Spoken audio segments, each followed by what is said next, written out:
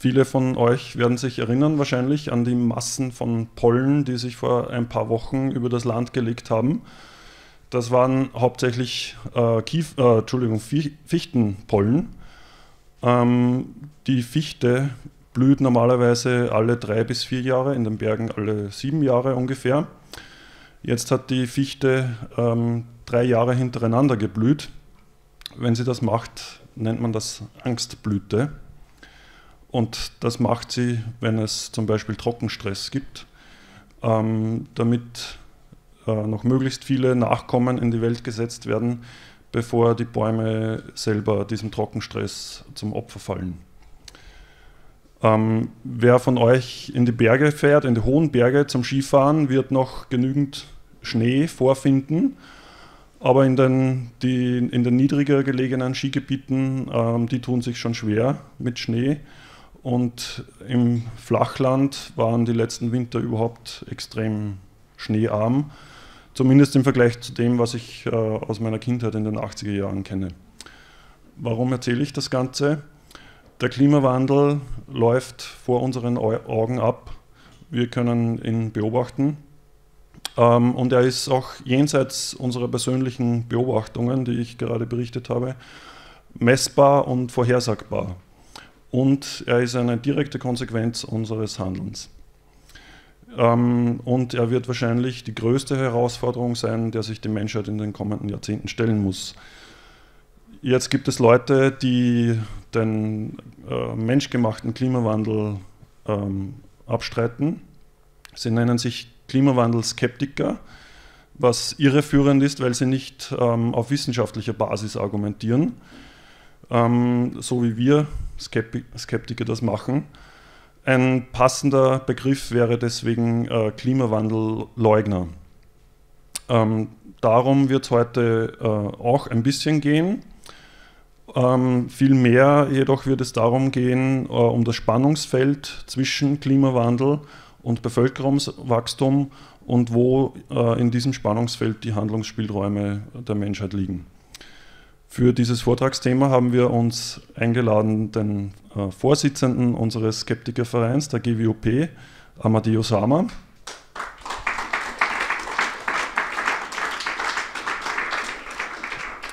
Amadeo ist ähm, in Deutschland geboren, aber in Indien aufgewachsen. Ähm, er hat sich sehr früh schon äh, für Naturwissenschaften interessiert und dieses Interesse wurde auch von seinem Großonkel dritten Grades gefördert, äh, Chandras, Chandrasekhara Venkata Raman. Kennt ihr sicher alle. Also zumindest die Chemiker und Physiker euch, unter euch sollten ihn kennen. Ähm, er war niemand geringerer als der Entdecker der bekannten Raman-Streuung und ähm, Nobelpreisträger des Jahres 1930.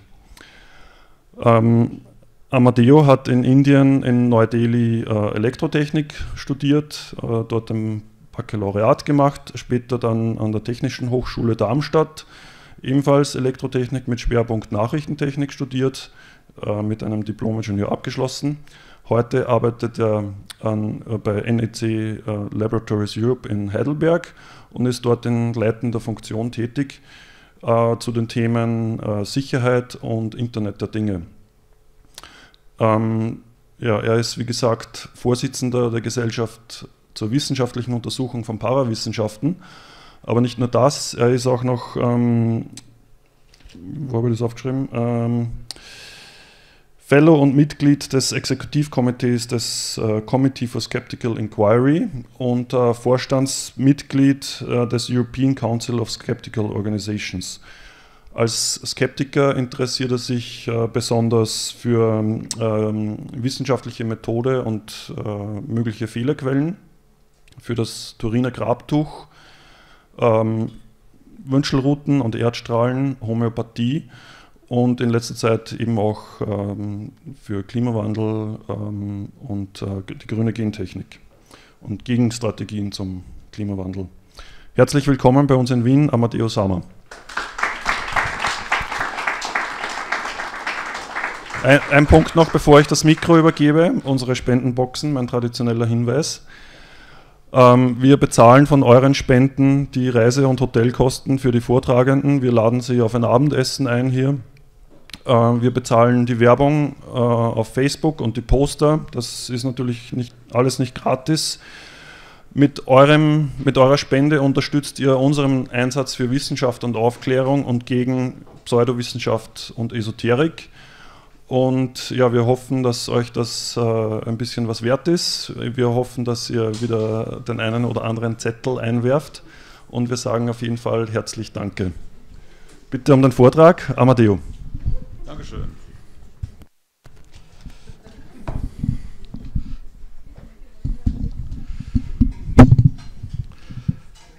Ja, vielen Dank für diese freundliche und auch sehr, sehr lange Ein Einführung.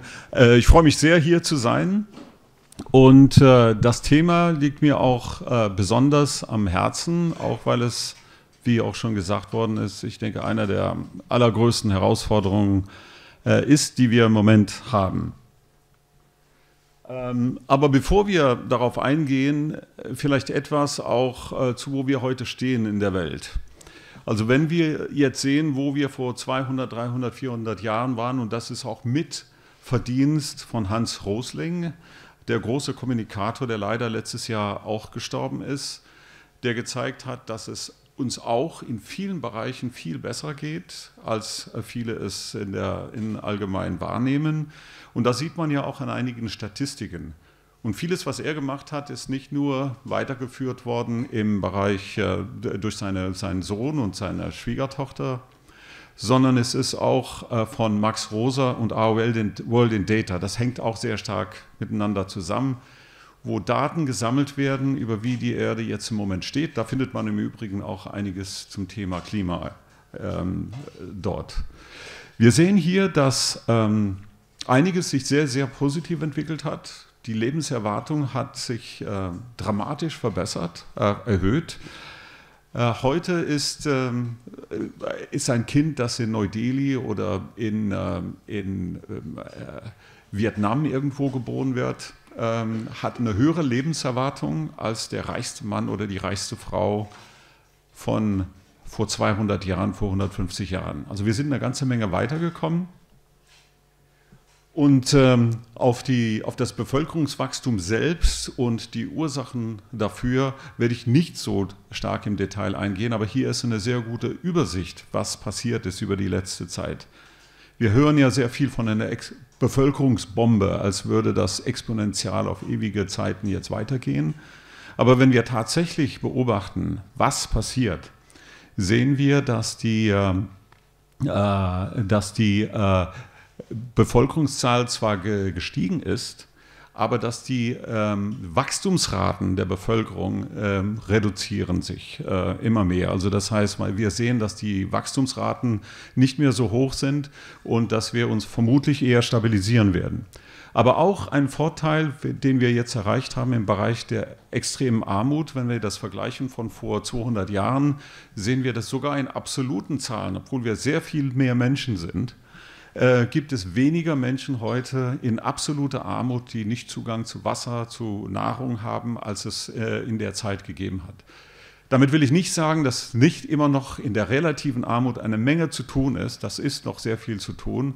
Aber das geht nur, indem wir bestimmte Dinge nutzen, auch die uns zur Verfügung stehen. Und wir können auch die Frage stellen, wie ist es denn überhaupt dazu gekommen, dass wir heute in einigen Punkten sehr viel besser stehen, als wir es für 200 Jahren sind. Das, das gehört auch zu der Geschichte. Und äh, das erste ist die industrielle Revolution. Dadurch haben wir alle mehr Energie zur Verfügung, dass wir hier überhaupt Licht haben in der Nacht. Ähm, das kommt daher, wir haben viel mehr Energie zur Verfügung. Wenn wir schauen, ein Mensch verbraucht so in etwa 100 Watt und wenn man früher nicht reich war, dann war das das Einzige, was einem zur Verfügung stand, seine eigene Kraft. Teilweise musste äh, man seine eigene Kraft auch als Sklave oder als Untergebener irgendwo einen Teil davon äh, abzwacken. Heute haben wir quasi ähm, durchschnittlich ähm, 24 auf der Welt, 24 Energiesklaven, die sozusagen für uns mitarbeiten. Also diese Energie, äh, der, diese industrielle Revolution hat uns vieles gebracht, was unser Le Leben erleichtert. Wir haben Kühlschränke, wir müssen nicht selber unsere Wäsche waschen. Ähm, äh, Waschmaschinen sind noch nicht alle auf der Welt, die das haben, aber es hat uns eine ganze Menge Vorteile gebracht. Das zweite war die medizinische Revolution, wodurch auch die ähm, wodurch, wodurch Krankheiten besiegt worden sind. Wir haben Impfungen, da gibt es ja auch die Diskussion immer wieder von den Impfgegnern, die vergessen haben, was früher passiert ist. Viele Krankheiten, die früher gang und gäbe waren, sind verschwunden. Und als letztes, und das hat auch wesentlich dazu beigetragen, dass die Wachstumsraten bei der Bevölkerung gesunken ist, die grüne Revolution, dadurch sind nicht, wie einige behauptet haben, 100 Millionen Menschen in Südasien verhungert, sondern die Lebensmittelproduktion ist durch die grüne Revolution stärker gestiegen als die Bevölkerung. Und viele Länder, die damals sich nicht versorgen konnten, können sich heute selber versorgen. Und das hat alles mit dazu beigetragen, auch im Sinne der Bevölkerung, dass die Bevölkerungswachstumsraten dramatisch zurückgegangen sind. Wenn wir Länder sehen wie Bangladesch, die hatten vor 30 Jahren pro Frau ähm, so in etwa sechs bis sieben Kinder. Heute ist es fast auf zwei heruntergekommen. Länder wie Thailand oder Iran, wo man das nicht erwarten würde, da ist auch die Geburtenrate unter zwei schon gefallen. Also das heißt, die Bevölkerung wird noch wachsen und wir haben ein Problem damit. Aber wir müssen sehen, dass wir nicht die Dinge, die uns dazu gebracht haben, dass die Bevölkerungswachstumsraten abgeflacht sind, dass die auch äh, aufgegeben werden. Es gibt äh, durch diese Dinge eine ganze Menge Abhängigkeiten. Ich habe das hier so dargestellt, wir haben den Menschen, äh, Energie mit der äh, industriellen Revolution habe ich angesprochen, die Nahrungsmittelproduktion, das mit der grünen Revolution und so weiter, Gesundheit, das sind alles Dinge, die dazu führen, dass die Menschen äh, sich wohlfühlen und vielleicht auch nicht so Angst haben müssen, dass ihre Kinder nicht mehr überleben. Gleichzeitig haben wir allerdings das Problem, dass nicht alles, was wir tun, für die Umwelt gut ist und dass es auch mit einem Kostenfaktor kommt. Und wir müssen diese vernünftig aufgreifen und sehen, was ist da, was passiert da und was kann man dagegen machen, ohne das, was wir heute erreicht haben, auch aufs Spiel zu setzen. Ein Zurück zur Natur würde heißen, wir gehen zurück in eine Zeit, wo Menschen 40 Jahre lang alt, 40 Jahre alt geworden sind oder wo man damit rechnen müsste, dass von sechs Kindern vier sterben werden.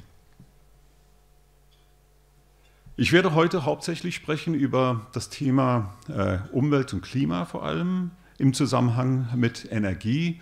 Und das äh, mit der Bevölkerung spielt eine Rolle, aber das ist nur hinsichtlich der Frage, wie viele Menschen werden wir sein insgesamt auf der Welt, die wir in einem angenehmen Leben äh, halten und bringen müssen. Die äh, Herausforderung ist, wir sind heute sieben Milliarden Menschen und ähm, so wie die Statistiken im Moment aussehen, wird es sich ungefähr bei elf bis zwölf Milliarden Menschen einpendeln um äh, das Jahr 2100. Und äh, das heißt, wir haben das, was wir an äh, Menschen mit Ernährung haben, aber auch mit der medizinischen Versorgung, vor allem, wo es heute geht, um die Versorgung mit ausreichend viel Energie, haben wir ein größeres Problem, als wir heute haben. Und dennoch müssen wir die Probleme bearbeiten. Und äh, meine These ist, wir sollten nicht so tun, als okay, wir können alles wieder runterfahren und ähm, dass äh, wir es den Menschen in Asien oder Afrika zumuten müssen, selber ihre Wäsche zu waschen und wirklich äh, lange Wege zu gehen, bis sie Wasser holen und so ähnlich. Wir brauchen einen gewissen Lebensstandard, den wir weltweit haben. Und das heißt, wir werden auch neben der Frage der Ernährung und der medizinischen Versorgung mehr Energie verbrauchen, mehr Energie brauchen. Und fossile Energien waren Teil der industriellen Revolution und man sollte nicht vergessen, dass auch die fossile Verbrennung mit dazu beigetragen hat, dass unsere Lebenserwartung oder auch unser Lebensstandard äh, inzwischen besser geworden ist.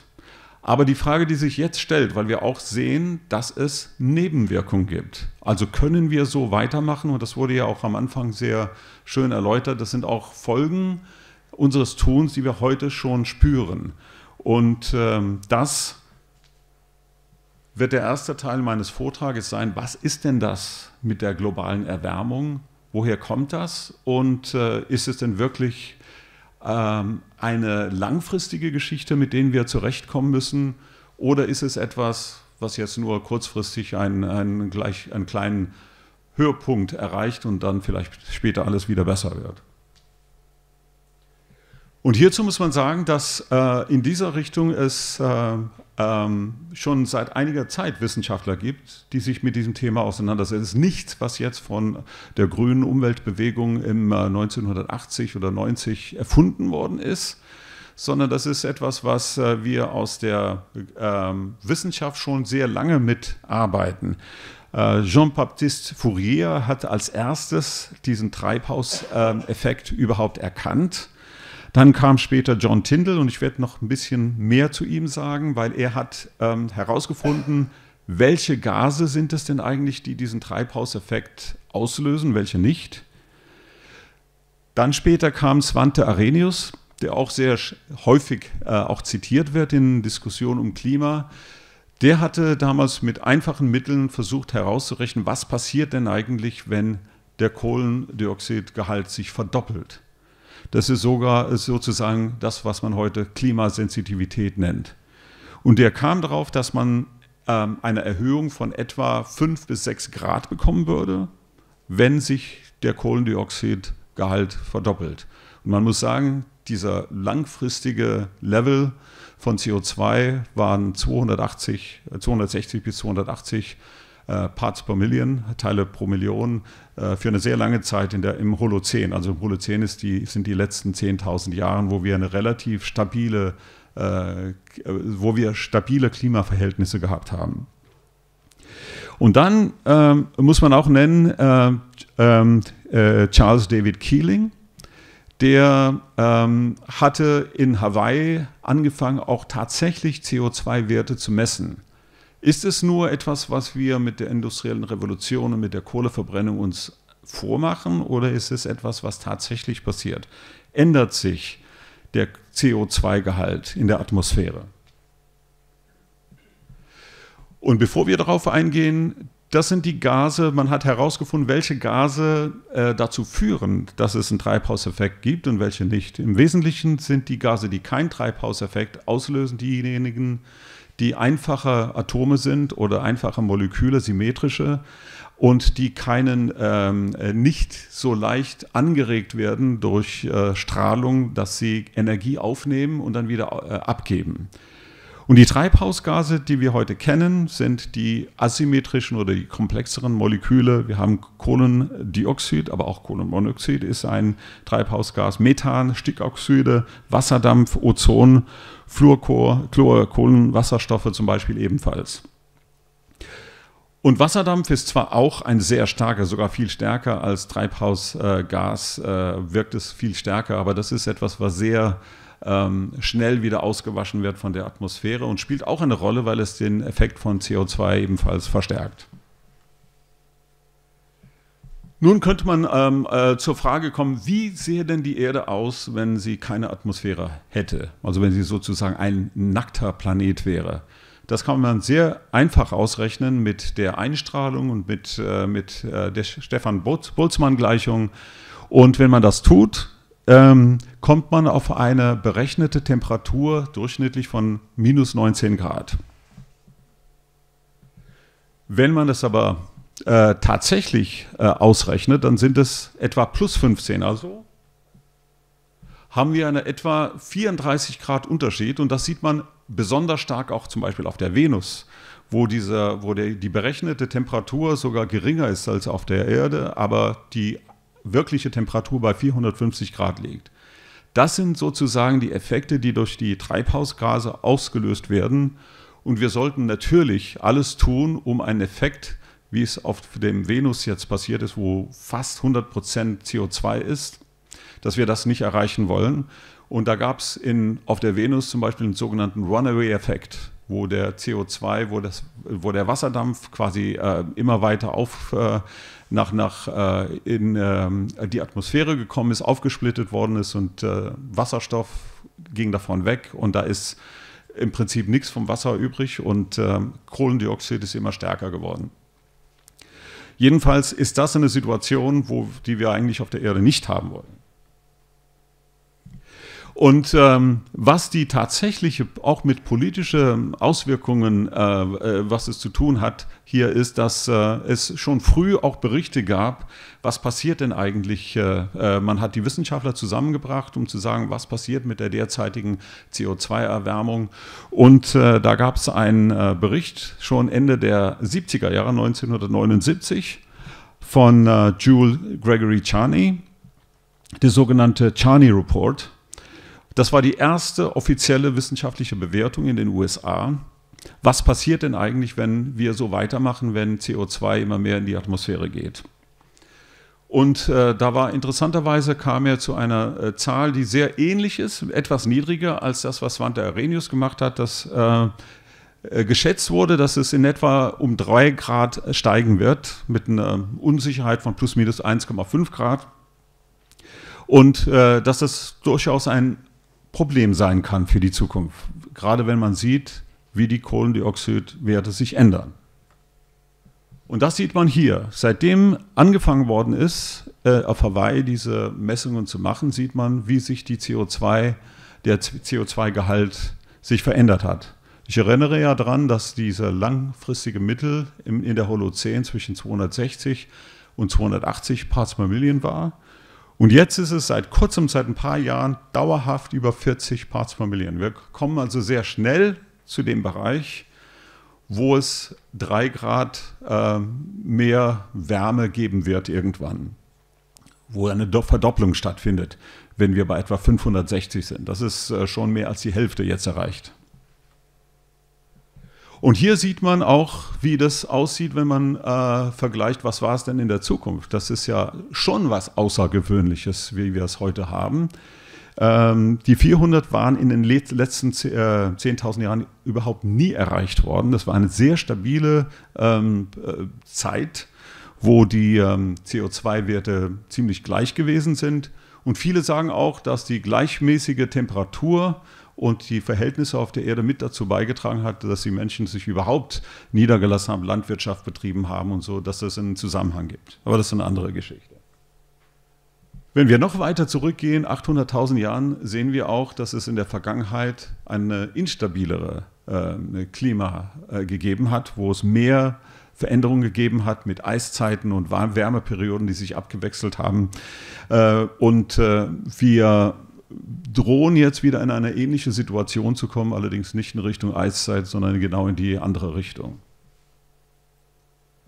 Und wenn man jetzt auch tatsächlich sagt, okay, ist es aber so tatsächlich, dass auch sich nicht nur irgendwann äh, die Temperatur auf drei Grad äh, sich einpendelt bei einer Verdopplung der CO2, des CO2-Gehaltes? Oder ist es etwas, was wir schon jetzt messen können? Ich kann mich erinnern an die ersten Diskussionen, die, äh, die ich mit meinem Bruder hatte, der sich schon viel früher für dieses Thema interessiert hat als ich. Und äh, mein Argument war damals nicht, dass es nicht passieren wird, dass es wärmer wird, sondern dass die Erde ist ja sehr träge und ist ja so massig, sodass bis so ein Effekt sich einstellt, wird es hunderte, vielleicht tausende von Jahren dauern. Aber ich glaube, das ist genau das, was die Messungen zeigen, dass es nicht der Fall ist. Diese Veränderung kommt sehr viel schneller zugange, als viele es erwartet haben und was für uns auch ein Problem wird, weil wir schneller reagieren müssen, als wenn diese Temperaturerhöhung vielleicht in 500 Jahren kommen würde. Dann könnte man immer noch sagen, dann haben wir noch Zeit, um irgendwie CO2 wieder aus der Atmosphäre rauszuziehen, um die Sache zu stabilisieren. Aber es ist relativ klar, die, ähm, es gibt eine, ein gleich, äh, eine gleichmäßige Bewegung wenn die CO2-Werte steigen, steigen auch die Temperaturen. Und das zeigen auch alle Messungen von der Vergangenheit, von der Erdgeschichte, dass diese zusammengegangen sind. Nicht immer kam die CO2-Erhöhung zuerst, manchmal war es umgekehrt. Aber trotzdem finden diese zwei ähm, Variablen, wenn man so will, in einem gewissen Gleichgewicht. Und was man jetzt auch heute auch weiß, ist, weil man ja äh, messen kann, was es denn für tatsächliche Einstrahlung in die Erde von, von der Sonne reingeht, also dieses Gleichgewicht mit dem Stefan äh, Boltzmann-Gleichung oder auch was wird abgestrahlt an Infrarotstrahlung, was kommt rein als Licht, dann sieht, sehen wir, dass ähm, es auch Effekte gibt, die die Erde kühlen, zum Beispiel die Vulkane. Wenn es einen Vulkan gibt, ähm, gibt es auch kurzfristig eine Abkühlung der Erde. Es gibt viele natürliche Prozesse, die das beeinflussen. Es gibt Einflüsse auch, wenn die Sonneneinstrahlung, das ist auch nicht immer gleich. Und das verändert einiges auch. Und es gibt eine ganze Menge unterschiedlicher äh, Faktoren. Wenn es mehr Eis gibt, wird mehr Licht reflektiert. Also hat es auch einen äh, Einfluss auf dieses äh, Gleichgewicht. Jedenfalls, was man heute weiß, ist, dass messbar wir mehr ähm, Energie aufnehmen, als wir abgeben, sodass wir ähm, auf, uns aufwärmen. Und dieses Ungleichgewicht ist etwa 2 Watt pro Quadratmeter. Und solange das nicht auf Null geht, zumindest durchschnittlich über einen längeren Zeitraum, dann werden wir eine Situation haben, wo die Erde sich weiter aufwärmt. Und es wird häufig auch gesagt, dass äh, wer, wer äh, manche Klima, sogenannte Klimaskeptiker, die wir es Klimawandelleugner nennen, äh, äh, liest, die sagen, naja, das hat was mit der Sonneneinstrahlung zu tun. Äh, und je mehr Sonnenlicht es gibt, desto mehr wird die Temperatur sich erhöhen. Aber wir können das ja auch messen und wir sehen ganz klar, wir sollten eigentlich jetzt eine Abkühlung haben, wenn es um die äh, Sonneneinstrahlung geht. Aber die Temperaturen steigen trotzdem.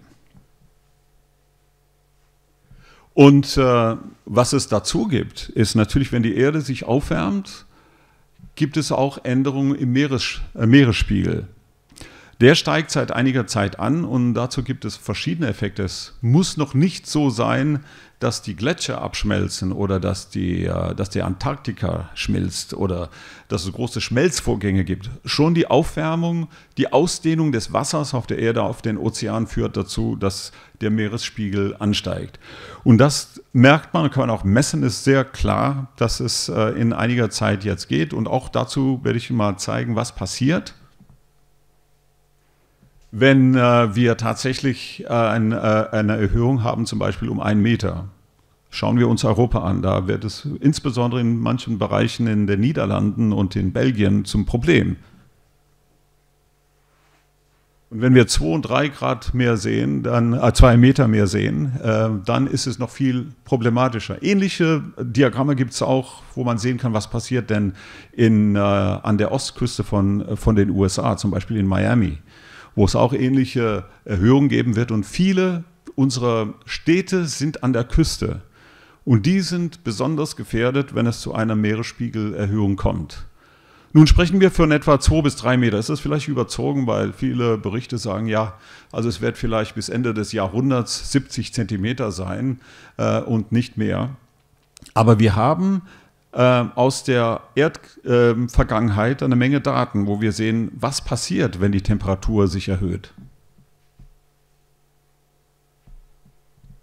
Zum Beispiel beim, äh, beim Pliozän vor etwa zwei, äh, fünf bis, äh, fünf, äh, zweieinhalb bis ähm, fünf äh, Milliarden Jahren. Da war es zwei Grad, zweieinhalb Grad wärmer, als es heute ist. Das ist etwas, was durchaus realistisch ist, wenn wir die Szenarien sehen, weil es gibt ja die sogenannte 2-Grad-Grenze, die wir einhalten sollen. Aber es kann durchaus sein, wenn wir nicht schnell genug handeln, dass es 2,5 Grad wird. Was passiert mit 2,5 Grad? Wir wissen, dass es damals ähm, einen Meeresspiegel gab, der 25 Meter höher war. Das ist jetzt nicht etwas, was wir, genauso die gleiche Trägheit der Erde, das ist nicht etwas, was wir in 50 Jahren erwarten müssen, sondern das ist das, was sich einpendeln wird. Und es hat jemand auch sich die Mühe gemacht, das zu vergleichen. Verschiedene Zeiten auf der Erde, was waren denn die Meeresspiegel und was waren die Temperaturen gewesen. Und da sieht man ziemlich genau, was der eingeschwungene Zustand irgendwann sein wird. Und äh, das Problem ist dabei auch, dass diese Prozesse sehr chaotisch ablaufen können. Es ist ja nicht so, dass es gleichmäßig immer ein paar Meter, ein paar Zentimeter höher wird, sondern wir wissen ebenfalls aus der Erdgeschichte, dass dann plötzlich große Eisblöcke abschmelzen können und ins Meer gehen. Ähm, das war bei der, äh, bei, der, bei der letzten Eiszeit so gewesen. Und wenn ähm, große Massen auf Grönland schmelzen oder auf der Antarktika, dann haben wir schon ein Problem. Und ähm, um jetzt mehr zu diesem Teil zum Ende zu kommen, zum ersten Teil, wo es um die Klima, ähm, die Mechanismen hinter der Klimaänderung, äh, der globalen Erwärmung. Äh, heute sind sich alle wissenschaftliche Einrichtungen einig. Und zwar auch diejenigen inzwischen, die der Ölindustrie nahestehen. Alle sagen unisono, es ist völlig klar, dass äh, unser Tun, also die fossile Verbrennung, ähm, dazu mit beiträgt, dass die Erde sich erwärmen wird, dass die, äh, der sogenannte anthropogene globale Erwärmung Fakt ist. Und ähm, es ist so ähnlich auch wie in der Diskussion mit der Gentechnik, wo es eigentlich gar keinen großen Zweifel mehr gibt über die Grundtendenz. Natürlich gibt es jede Menge Diskussionen immer noch über die Frage, wird es denn jetzt tatsächlich 4 Grad mehr oder 2 Grad mehr? Welche Effekte kommen ein? Wie sind denn die sogenannten Kipppunkte? Und äh, wie, wie, äh, was für Effekte werden es haben in verschiedenen Regionen? Also über viele Einzelheiten gibt es noch sehr viel Debatte und da gibt es äh, ähm, sogar, ähm, Nature hat zum Beispiel eine eigene Zeitschrift, Nature Climate Change, ähm, ins Leben gerufen, um genau solche Punkte zu diskutieren und auch wissenschaftlich zu bearbeiten. Also das Thema ist für die Wissenschaft immer noch ein sehr großes Feld, wobei die Grundtendenz, was alle ähm, sagen, ziemlich klar ist. Und hier ist eine, ein Statement von der AAAS zum Beispiel als Beispiel. Ähm, ich habe das so übersetzt. Äh, die wissenschaftliche Beweislage ist klar, das globale Klima ändert sich jetzt und wird durch menschliches Handeln verursacht und wird zu einer zunehmenden Bedrohung für die Gesellschaft. Ein Einwand will ich nochmal aufgreifen. Es heißt sehr häufig, naja, aber früher gab es ja auch höhere CO2-Werte, aber gleichzeitig war das mit der Temperatur so ähnlich wie heute auch. Und da muss man zumindest wissen, wenn man diesen Einwand begegnen will, wie die Erde sich entwickelt hat. Es gibt auch von, von den, bei den Skeptikern äh, gut bekannten äh, Carl Sagan äh, der Begriff des sogenannten äh, Paradox der, der lichtschwachen jungen Erde. Wir wissen, dass über die Jahrmilliarden die, äh, äh, die, die, Sonneneinstrahlung sich erhöht. Und ähm, das wird auch in der Zukunft weiter so gehen. Also die Sonne wird immer wärmer. Und äh, die Frage ist, wieso ist es dann so gewesen, dass die Temperaturen auf der Erde weitgehend, so nicht ganz, gleich geblieben ist? Und ich hatte ja gezeigt, was ähm, die berechnete Temperatur ist. Man sieht jetzt auf der untersten Linie die Temperatur, die wir erwarten würden, wenn die Erde gar keine Atmosphäre hätte, also sogenannte die nackte Erde.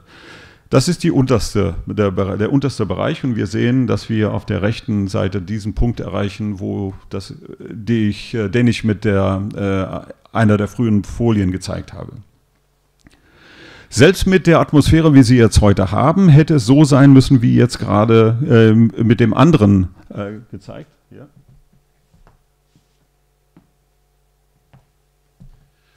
Was ja bedeutet, weil die Temperatur ja nicht so gewesen ist, dass ja auch die Bedingungen vielleicht in der Atmosphäre anders waren. Und einer der Gründe, warum das so äh, gewesen ist, dass tatsächlich die Erde sich in gewisser Weise selbst reguliert hat ähm, mit den Prozessen, wie sie lau laufen, wie CO2 abgebaut wird von der Atmosphäre und wie sie wieder in die Atmosphäre reinkommt.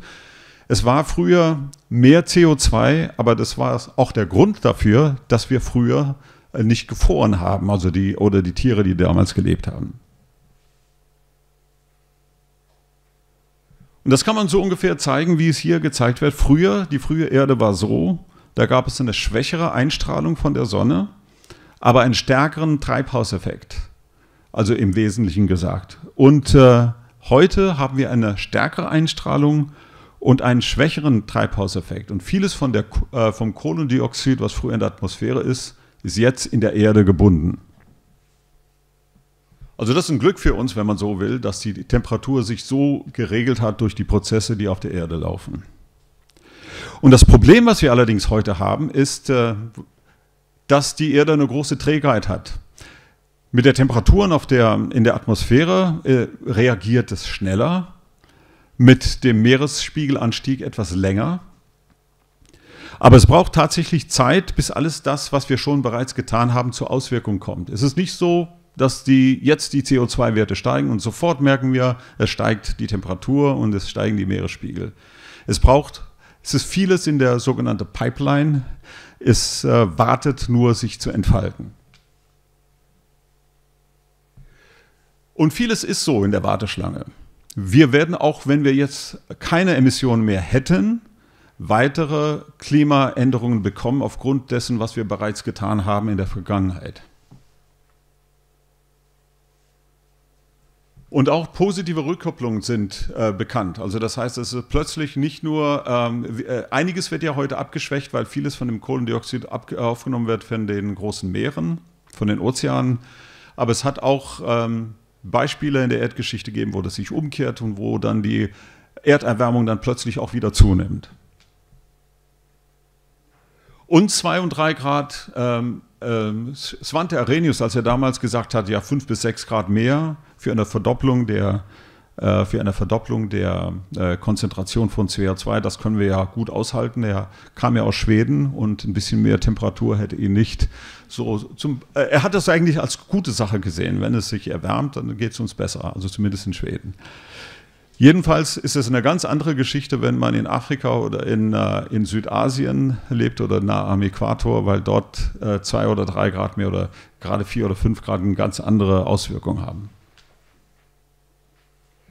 Und wer sich hier zu diesem Teil mehr informieren möchte, den kann ich nur, ich glaube, er war schon hier gewesen, Mark Leines, der hat ein Buch äh, geschrieben, Six Degrees, sechs Grad, wo er auch anhand der Erdgeschichte zeigt, sehr schön zeigt, was passiert, wenn wir ein Grad mehr haben. Was passiert, wenn es zwei Grad sind, drei Grad, vier Grad, fünf Grad.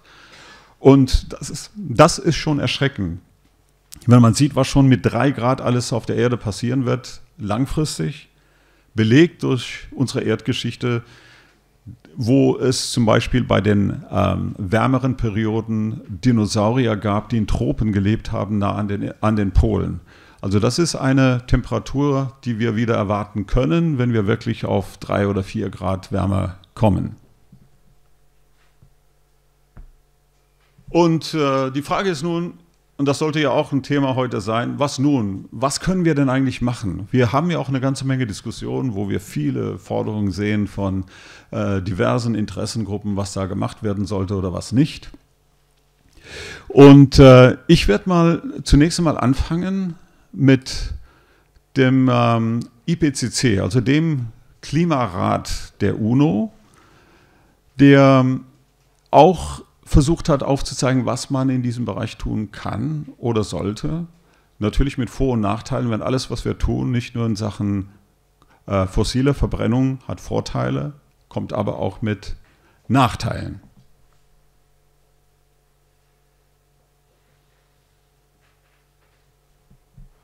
Ähm, und ähm, wir könnten zuvor aber auch noch die Frage stellen, was eine der Möglichkeiten ist ja auch, dass wir sagen, okay, vielleicht brauchen wir nicht so viel Energie. Ähm, das wird ja sehr häufig gefordert auch, wir müssen zurück zur Natur, wir können nicht so weiterleben, wie wir jetzt tun, wir sollten vielleicht gar nicht mehr so viel Energie verbrauchen. Aber ich glaube, diese Richtung der Forderung, äh, das ist das Erste, glaube ich, ist nicht vernünftig. Ist nicht vernünftig, weil diese Energiearmut bedeutet, dass viel mehr Menschen, äh, erstens Menschen nicht da rauskommen können, wo sie heute sind, wo sie viel manuelle Arbeit leisten müssen, um einfache Dinge zu tun, die für uns äh, gar nicht mehr eine Rolle spielen. Wir müssen nicht mehr unsere Wäsche waschen, wir müssen nicht äh, lange Wege gehen, um unser, unser Wasser zu holen. Solche Zustände wollen wir nicht mehr haben. Und für arme Länder ist das besonders problematisch. Und selbst wenn man sagt, in reichen Ländern, ja, da können wir mehr bezahlen für unsere Energie, auch das ist meines Erachtens unsozial, weil äh, es trifft natürlich immer wieder nur die Ärmsten, auch in den reichen Ländern, die dann für sonstige Dinge viel weniger, äh, viel weniger äh, Geld haben, um Dinge zu tun. Sie verbrauchen eine ganz große Menge ihrer eigenen äh, Ausgaben dafür, einfach nur Energie, die Grundversorgung zu sichern. Deswegen glaube ich als erstes, das ist mein erster Standpunkt hier, diese Forderung, Energie muss nur teurer werden, wir müssen, äh, müssen alles runterfahren, das ist, glaube ich, nicht eine Sache, die wir äh, groß äh, fordern sollten oder fördern sollten, weil das zu Lasten der Menschen geht. Und dann käme ja die Frage, was brauchen wir denn an Energie? Also äh, wenn wir jetzt betrachten, was wir 2014 gebraucht haben, das ist nur mal so ein, so ein Beispiel, waren es etwa 18 Terawatt Leistung für die gesamte Menschheit. Das heißt, jeder hat etwa 2400 Watt für sich. Umgerechnet, wie ich am Anfang gesagt habe, heißt es, jeder hat 24 Energiesklaven für sich arbeiten, um Dinge zu tun wie äh, Geschirr spülen oder Wäsche waschen und so weiter. Und ähm, Dabei ist es sehr un unterschiedlich verteilt. Die USA hat äh, 100 Energiesklaven pro Person arbeiten. In Europa sind das durchschnittlich 45. In China sind es 21 und in Indien äh, etwa 7. Aber äh, wir sollten auch, einer der Punkte, die, die durchaus Sinn macht, ist äh, zu sehen, wie können wir mit der, mit, dem, äh, mit der Energie effizienter umgehen. Wir sollten versuchen, mehr, äh, weniger Energie in dem Sinne Primärenergie zu verbrauchen, indem wir sie effizienter nutzen. Aber selbst bei sehr effizienter Nutzung von Energie werden wir nicht unter etwa 2000 Watt pro Person kommen, äh, wenn wir einen vernünftigen Lebensstandard halten wollen. Und das heißt immer noch für 10 bis 12 Milliarden Menschen auf der Erde mindestens 20 Terawatt. Und weil ich es nicht ganz glaube, dass wir das schaffen mit der Energie, äh, mit der Energieeffizienz bis zu dieser Zeit, werden es vermutlich mehr sein.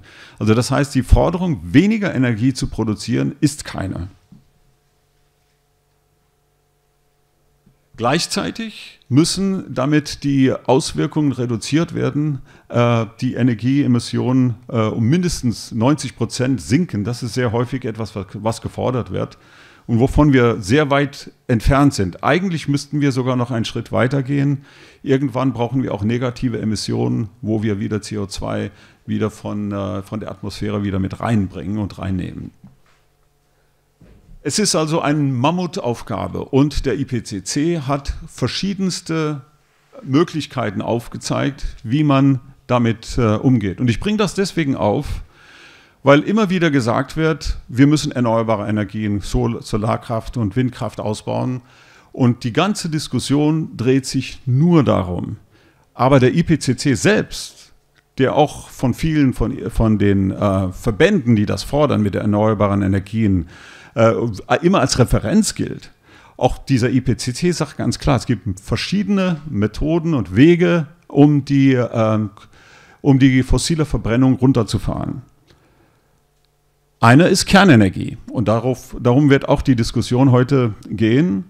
Das zweite ist erneuerbare Energien, aber zu erneuerbaren Energien gehören nicht nur Solar und Wind, sondern gehört auch zum Beispiel Wasserkraft, was ja in Österreich zum Beispiel stark genutzt wird. Und dann gibt es Carbon Capture und Storage, das heißt, man verwendet weiterhin ähm, eine Verbrennungsanlage, aber man holt, äh, man, man fängt sozusagen den, den Kohlenstoff wieder auf und tut sie wieder zurück in die Erde. Also man lässt sie nicht in die Atmosphäre. Auch das CCS ist ein Beispiel, was genannt worden ist. Und dann gibt es noch andere Dinge hier auch, die, die genannt werden, wie zum Beispiel äh, Methanlecks zu verhindern und zu reduzieren. Und was nicht genannt wird, was auch ein ganz wichtiger Punkt ist, eine ganz neue Generation von Biokraftstoffen. Und damit meine ich nicht die Art von Biokraftstoffen, die wir jetzt in äh, letzter Zeit äh, stark genutzt haben, wie zum Beispiel äh, Biodiesel und so weiter, weil das sehr häufig Verfahren sind, wenn es äh, ähm, landwirtschaftliche Produkte sind, die normalerweise in die Ernährung gehen, die dann abgezweigt werden, um dann Öl zu produzieren. Das ist eine Kollision zwischen ähm, dem, der, der Notwendigkeit, Lebensmittel zu produzieren und Energie zu produzieren. Und da müssen wir von weg und da gibt es auch neuere Ansätze, die gefolgt, verfolgt werden können. Aber der Hauptpunkt ist, wir haben ein massives Problem vor uns und es gibt nur, nicht nur einen Weg dahin, die wir immer wieder, äh, den wir immer wieder hören. Erneuerbare Energien, also Solar, Solar und Windkraft. Und dann kann man auch sagen, okay, wie sind wir bisher denn gefahren? Was ist bisher passiert? Schauen wir uns, wie die weltweite Primärenergieverbrauchszahlen sich entwickelt haben. Ähm, wir sehen, dass über die Jahre seit den 90er Jahren bis heute der Energieverbrauch sich ständig erhöht. Es ist überhaupt kein Anzeichen dafür, dass die Nutzung von fossilen Energien sich reduziert. Man sieht Kohle, man sieht Gas, und man sieht ähm, Öl immer noch steigen insgesamt, wenn man sie zusammenrechnet. Und die Bereiche, die nicht ähm, zu Lasten der Umwelt gehen, sieht man in der Mitte, das sind ähm, Hydro, ähm, das sind Kernkraft und die erneuerbaren Energien. All diese zusammen spielen immer noch eine ganz kleine Rolle für die gesamte Primärenergieversorgung. Und angesichts einer solchen Situation zu sagen, wir wollen nur auf erneuerbare Energien setzen, das ist wirklich, also wenn erneuerbare Energien gesagt werden, sind, meint, meint man meistens dann Solar- und Windkraft. Das kann nicht die Lösung sein. Wir müssen, es ist eine wesentlich größere Aufgabe, die wir vor uns haben, als dass wir nur mit erneuerbaren Energien lösen können. Und Deutschland wird immer weltweit bei Klimakonferenzen und anderswo als leuchtendes Beispiel, oh, wie die Energiewende funktioniert hat, äh, dargestellt, wie auch und, äh, nebenbei Dänemark. Weil so stark die, weil die, äh, weil die, ähm, weil Windkraft und Solarkraft so stark ausgebaut worden sind. Wenn man aber jetzt tatsächlich sich anschaut, wie sich die ähm, Emissionen sich entwickelt haben, dann sieht man, dass wir in Deutschland zum Beispiel in den letzten zehn Jahren weitgehend auf der Stelle treten. Es gibt leichte Reduktionen. Früher gab es etwas mehr. Und am Anfang, nach den 90er Jahren, vor allem durch die Veränderungen in der damaligen von der DDR als nach der Wiedervereinigung, gab es einiges, was effizienter worden ist, geworden ist. Und vieles geht darauf zurück, was reduziert worden ist. Tatsächlich kommen wir nicht wieder, nicht voran. Und die Ziele, die sich die deutsche Bundesregierung gesetzt haben, die erkennt jetzt jeder, dass das nicht erreicht werden kann. Und deswegen würde ich gern mal auch, weil die Diskussion sehr häufig auch äh, um Kernenergie und um Erneuerbare geht, weil es äh, ja eine, eine allgemein in Mitteleuropa eine Situation ist, wo erneuerbare Energien nur gut sind und Kernenergie nur schlecht ist. Wollen wir mal schauen, wie verschiedene Länder mit diesem Problem umgegangen sind. Wenn wir Frankreich betrachten, und die sogenannten Low Carb oder die Niedrigkohlenstoffenergiequellen nutzen, wozu in, in Frankreich hauptsächlich Hydro- und Kernkraft gehören, aber in letzter Zeit auch ein bisschen erneuerbare Energien. Wir sehen, dass Frankreich über 80 Prozent der Elektrizität ähm, durch Low Carb oder Niedrigkohlenstoffenergiequellen erzeugt. Und selbst wenn man die gesamte Primärenergie betrachtet, und da muss man sagen, was dazu kommt, was, äh, was nicht unter Elektrizität fällt, das sind Dinge wie die Schwerindustrie, die, ähm, die, der Transport, alles, was wir an Autos äh, beim Verkehr verbrauchen oder mit Flugzeugen oder die Landwirtschaft. Das sind auch Dinge, die zu Emissionen führen. Und wenn man das insgesamt betrachtet, dann sehen wir, Frankreich ist bei über 40 Prozent Low Carb. Und schauen wir an, was Deutschland da macht. Das sind die Zahlen für Deutschland. Selbst bei der Produktion von Elektrizität alleine sind trotz der, des Ausbaus von äh, Solarkraft und Windkraft steckt Deutschland immer noch so bei etwa 30, 35 Prozent ähm, Low-Carb-Energiequellen, also äh, Quellen, die keine fossile Verbrennung, keine, äh, keine Schäden für die Atmosphäre verursachen. Und bei der Primärenergieversorgung ist es nicht 40 Prozent wie in Frankreich, sondern das, da ist Deutschland bei 10 bis 15 Prozent. Also zu sagen dabei, dass Deutschland einen großen Erfolg hat, ist, glaube ich, wirklich nicht so angemessen. Dann können wir sehen, wie schneidet denn eigentlich Deutschland ab im Vergleich zu anderen Ländern in der EU. Und wenn wir die Gesamtmenge der fossilen Verbrennung äh, sehen, dann ist Deutschland einsamer Spitze aber da kann man ja sagen, na gut, Deutschland ist ja auch sehr groß, viel größer als die anderen Länder. Dann kann man sagen, okay, schauen wir an, was ist es denn pro Person? Und hier sehen wir, was die fossile ähm, Verbrennung äh, wie viel Verbrauch pro Person an fossilen Energien stattfindet an, in verschiedenen Ländern. Und hier sehen wir ganz klar, Deutschland ist immer noch sehr weit oben. Nur die Niederlande und Belgien sind noch schlimmere Umweltsünder, was fossile Verbrennung angeht, als Deutschland.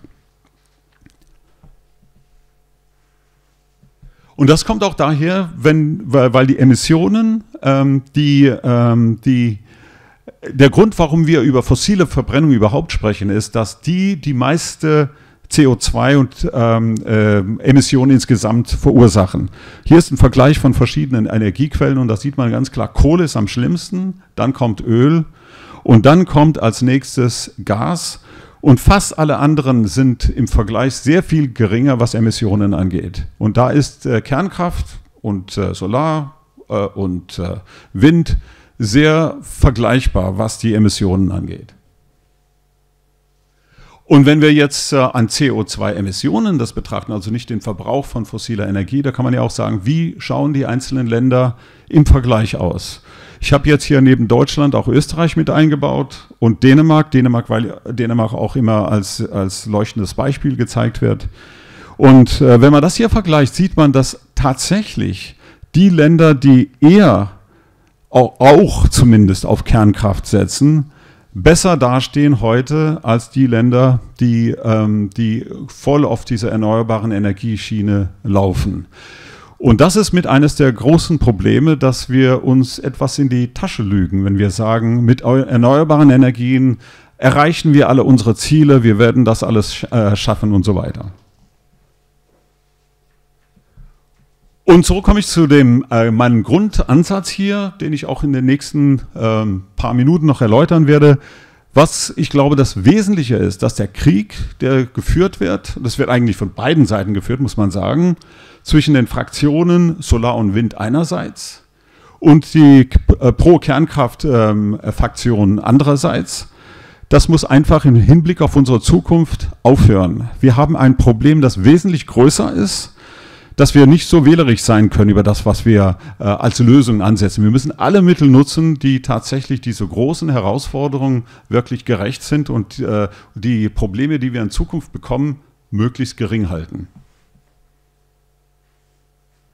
Aber selbst wenn ich jetzt in der nächsten Zeit hauptsächlich über Kernenergie und äh, Erneuerbare sprechen werde, will ich nochmal sagen, die sind nur auch dann nur Teil der gesamten Lösung. Wir sollten auch mit der Forschung nicht aufhören, andere Möglichkeiten zu suchen, wie wir mit diesem Problem angehen. Zum Beispiel auch diese neue Generation von Biokraftstoffen. Äh, das ist ganz sicher auch ein, ein, ein, wäre ein interessanter Ansatz. Nun komme ich zur Kernkraft selbst. Was für der, der, Vorteil der Kernkraft ist im Vergleich zu vielem anderen, ist die sehr hohe Energiedichte, die wir haben.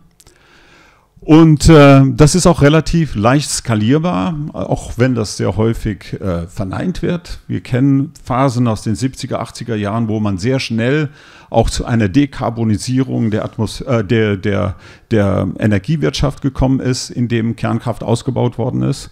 Und vor allem Kernkraftwerke, wenn sie gebaut werden, können sehr lange betrieben werden. Und das ist viel länger als im Vergleich zu vielen, äh, zum Beispiel äh, Solaranlagen oder auch äh, Windkraftanlagen.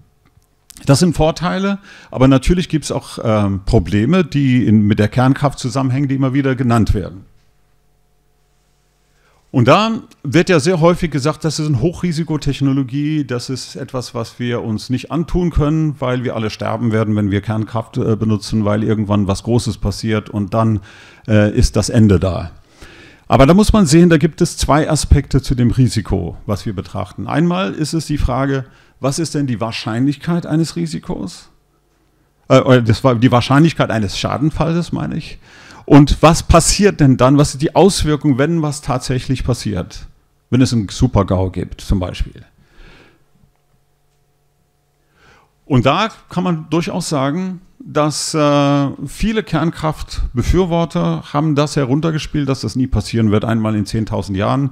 Ich weiß nicht, noch nicht mal, wie weit das wirklich stimmt, dass das so gesagt worden ist, aber es ist zumindest in der öffentlichen Wahrnehmung so, man hat so getan, als würde da nichts passieren. Und wir wissen seit Three Mile Island und Tschernobyl und äh, äh, Fukushima, dass das falsch ist. Das passiert, äh, das kann passieren und das muss man sich auch ehrlicherweise zu, gestehen, es kann auch wieder in Zukunft passieren. Selbst wenn ich persönlich glaube, dass die Wahrscheinlichkeit trotzdem geringer ist, weil man ja auch ein bisschen was lernt. Ausgeschlossen ist es nicht. Und wenn wir sagen, es kann in Zukunft passieren, dann heißt es vielleicht in 100, vielleicht in 500 Jahren, aber vielleicht auch im nächsten Jahr kann das passieren. Es ist nicht null. Das ist ganz klar. Aber was dann auf der anderen Seite komplett falsch dargestellt wird und bis heute eigentlich die gesamte Diskussion mit durchdringt, ist, dass die Auswirkungen dieser Unfälle, egal ob es Tschernobyl ist oder ob es Fukushima war, in der Öffentlichkeit viel dramatischer und schlimmer dargestellt wird, als es tatsächlich heute der Fall ist. Sie werden massiv übertrieben. Und ich glaube, wir hatten hier auch einen Vortrag vor äh, in, Skeptics in the Pub, wo auch gerade auf Fukushima und Tschernobyl eingegangen worden ist. Deswegen will ich das nicht so stark äh, erläutern, was da genau passiert ist. Wir können aber in der Diskussion durchaus auch darauf eingehen. Wie schlimm war Fukushima oder auch Tschernobyl? Ganz klar, es war ein Unfall und es gab Auswirkungen. In beiden Fällen Tschernobyl noch viel schlimmer als in Fukushima. Aber die Frage ist, war es diese Superkatastrophe, die immer wieder uns nahegelegt wird? Und wie ist diese Katastrophe, dieser Fall im Vergleich zu vieles andere, was wir heutzutage haben? Es ist immer der Vergleich. Man kann nicht nur sagen, das ist gefährlich, das kann äh, das und das äh, erreichen, aber dann sollte die Frage immer kommen, im Vergleich zu was anderem. Wie sieht es aus, wenn man es nicht tut, zum Beispiel. Und wenn wir das zusammennehmen, dann äh, sehe ich das Risiko insgesamt, wenn man alle Vor- und Nachteile sehen, dass die durchaus vergleichbar sind bei der Kernkraft mit Solar und Wind und nicht mit der Kohlen, mit der Verbrennung von Kohle, mit der fossilen Energienverbrennung. Sodass wir beides als Lösungsansatz sehen sollten, zumindest Teil des gesamten Lösungsansatzes, aber nicht sagen, wir wollen nur Erneuerbare oder nur Kernenergie. Wir sollten sehen, wie kriegen wir diese beide zusammen, um das massive Problem, was wir vor uns haben, zu lösen. Einen Satz habe ich dann doch noch, doch noch zu ähm, Tschernobyl und, äh, und Fukushima. Selbst wenn wir die Zahlen annehmen, die von ähm, Greenpeace und so äh, und, und, und Co. mit verbreitet werden, von 30.000, von 100.000 Toten, die sind sehr schwer äh, umstritten. Und äh, wer den Artikel von Florian Eigner im Skeptiker gesehen hat, kennt auch die Hintergründe dazu. Vieles hängt von Modellrechnungen ab und wie man diese, diese Schadensfälle berechnet. Äh, aber selbst wenn man von diesen äh, Zahlen ähm, äh, ausgeht, sieht man, dass sie schon jetzt viel weniger ähm, Menschenleben gekostet hat als zum Beispiel Kohle oder, Verkehr, äh, oder der Verkehr. Anhand der fossilen Verbrennung sind es Millionen, die jeden, jedes Jahr sterben. Millionen. Und zwar nicht wie im Falle von Tschernobyl 30.000 oder 40.000 über die nächsten 40 Jahre. Selbst beim Verkehr, wo wir nicht dazu kommen und sagen, okay, wir schaffen ein Auto, das Autofahren ab, sind es weltweit fast eine Million Menschen, die sterben daran, dass, dass wir überhaupt uns bewegen. Also das sollte man sich auch im Vergleich äh, mit, mit, äh, mit aufnehmen, wenn wir von solchen Risiken sprechen. Wie ist dieses Risiko im Vergleich zu anderen zu äh, sehen und was sind denn die Dinge, die, auf die wir verzichten? wenn wir etwas nicht tun, also was wir, wenn wir auf Verkehr verzichten oder wenn wir zum Beispiel darauf verzichten, ähm, Kernenergie auszubauen. Und ähm, ich denke, darüber wurde auch mal aus, viel ausführlicher ähm, berichtet, äh, was denn die äh, Todeszonen von Tschernobyl und Fukushima angeht, dass schon heute wir sehen, dass es äh, Bereiche in anderen Ländern gibt, die als Urlaubsorte genutzt werden, wo die Strahlenbelastung vergleichbar ist oder noch höher ist, als was wir heute in Fukushima, mit Umgebung von Fukushima oder auch von Tschernobyl sehen. Und wir kommen nicht auf die Idee zu sagen, okay, aufgrund des Vorsorgeprinzips evakuieren wir Leute zum Beispiel aus dem Bundesstaat Kerala in Indien, also wo ich häufiger zu Urlaub gewesen bin. Da gibt es an gewissen Gebieten auch äh, äh, eine Strahlenbelastung, die äh, sofort zu einer Evakuierung geführt hätte, äh, wenn es nach einem Unfall äh, so hoch gewesen wäre. Und es gibt deswegen auch ähm, die Fragestellung, was ist, wenn wir was nicht tun, von, ähm, von James Hansen, einer der Pioniere der Klimaforschung, zusammen mit, äh, mit äh, Careta, wo auch ausgerechnet worden ist anhand der vielen, vielen negativen Auswirkungen von der fossilen Verbrennung. Was hat uns denn die Kernenergie in der Vergangenheit gebracht? Und jetzt geht es noch nicht einmal über die Zukunft. Es geht darum, wie schädigt uns die Verbrennung von fossilen ähm, Brennstoffen auch heute, wenn wir gar keine Klimaerwärmung hätten. Und das sind eine ganze Menge Todesfälle, die verhindert worden sind, indem wir Kernkraft betrieben haben in der Vergangenheit, weil dadurch diese Emissionen weggefallen sind. Und diese Zahlen stehen in keiner Relation, keiner Relation, auch zu den Zahlen, die von Greenpeace und anderen verbreitet werden. Und jetzt kommen wir natürlich zu dem Totschlagargument Atommüll. Aber was machen wir mit dem Atommüll? Das höre ich auch von einigen innerhalb der Skeptikerbewegung, die sagen, naja, das ist etwas, was wir nicht gelöst haben. Eine Frage, die man hier durchaus stellen muss, ist denn eine Endlagerung wirklich die beste Möglichkeit? Denn schon John F. Kennedy hatte in äh, der Zeit seiner Präsidentschaft gewusst, dass man nicht nur Kernenergie so nutzen kann, wie es heute der Fall ist, sondern dass es neue Generationen von Kernkraftwerken geben wird, wo das, was wir heute Müll nennen, der Kraftstoff der Zukunft ist. Und es gibt viele, die auch gegen eine Endlagerung aus diesem Grund sind. Wir sollten eher diese, diesen Müll oder Brennstoff eher aufbewahren, damit, wenn wir eine neue Generation von Kernkraftwerken haben, dass wir sie neu einsetzen können, damit am Ende die Menge des Restmülls wirklich viel kleiner wird, als sie heute der Fall ist.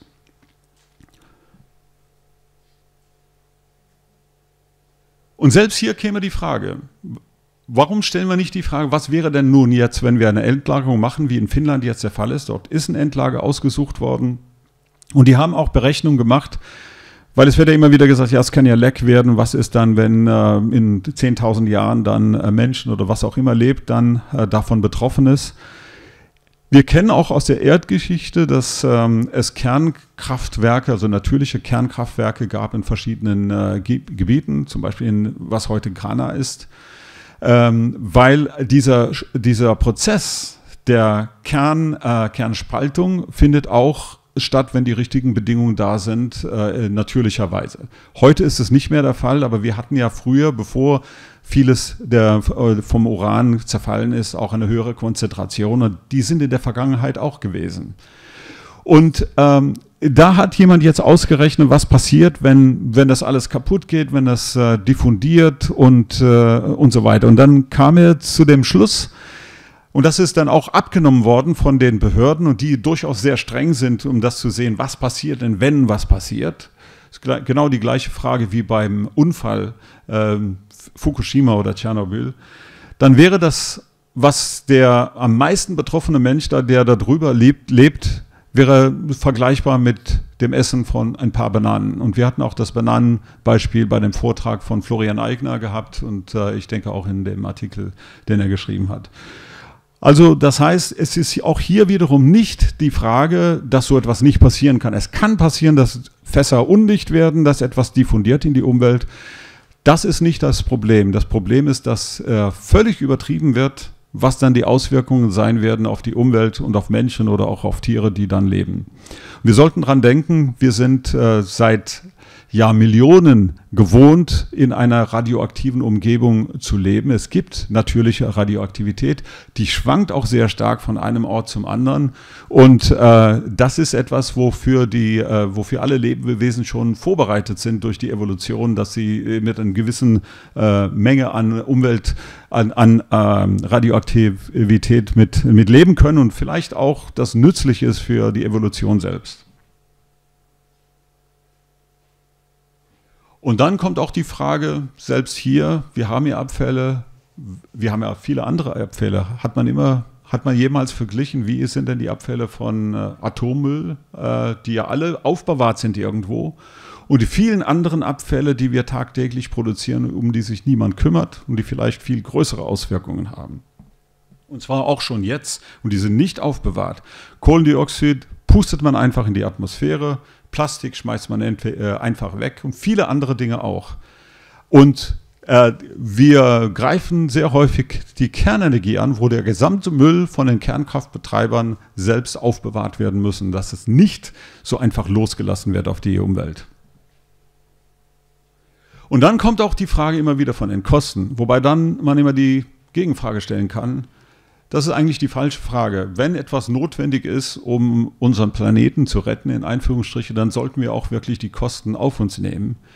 Aber die Berechnung, die man sieht, sollte man immer mit Vorsicht genießen. Ähm, aber es gibt auch andere Berechnungen, das wollte ich nur mal zeigen, als Beispiel von der Breakthrough äh, Institute, die gezeigt haben, wenn man die Gesamtkosten annimmt, die äh, für ein Kernkraftwerk genutzt wird oder für Deutschland, jetzt zum Beispiel für die Energiewende, dann sieht man, dass selbst bei dem sehr ähm, äh, über den Preis gegangenen äh, Kernkraftwerk von Finnland, wo äh, viel mehr Geld ausgegeben worden ist als geplant ist, immer noch günstiger ist, als die als Wind und Solar auszubauen. Natürlich wird auch jetzt äh, Wind und Solar auch billiger, aber ich will damit nur sagen, wenn man jetzt diese Sachen vergleicht, erstens ist die Frage, ob Kosten wirklich der Punkt ist, auf die wir diskutieren sollten, und zweitens ist die Frage, berechnet man das wirklich mit allen Nebenwirkungen, zum Beispiel auch, dass wenn man Wind und Solar betreibt, dass man auch für die für die Netzstabilität sorgen muss, dass wir auch dort Geld investieren müssen, dass dann auch Gaskraftanlagen ähm, laufen müssen, damit, wenn gerade der Wind nicht weht oder wenn die Sonne nicht scheint, auch das auszugleichen. Und das Letzte, was ich gehört habe, auch bei March for Science in Frankfurt, sogar von einem Klimaforscher, ja, aber Terroranschläge. Äh, die Frage ist natürlich, die ich dann immer stelle, ist, ist denn wirklich ein hochgesichertes Kernkraftwerk das, was Terroristen angreifen werden? Oder wie wir es auch kennen von der Vergangenheit, dass die, wenn sie Anschläge machen wie bei 9-11, eher weichere Ziele sich aussuchen?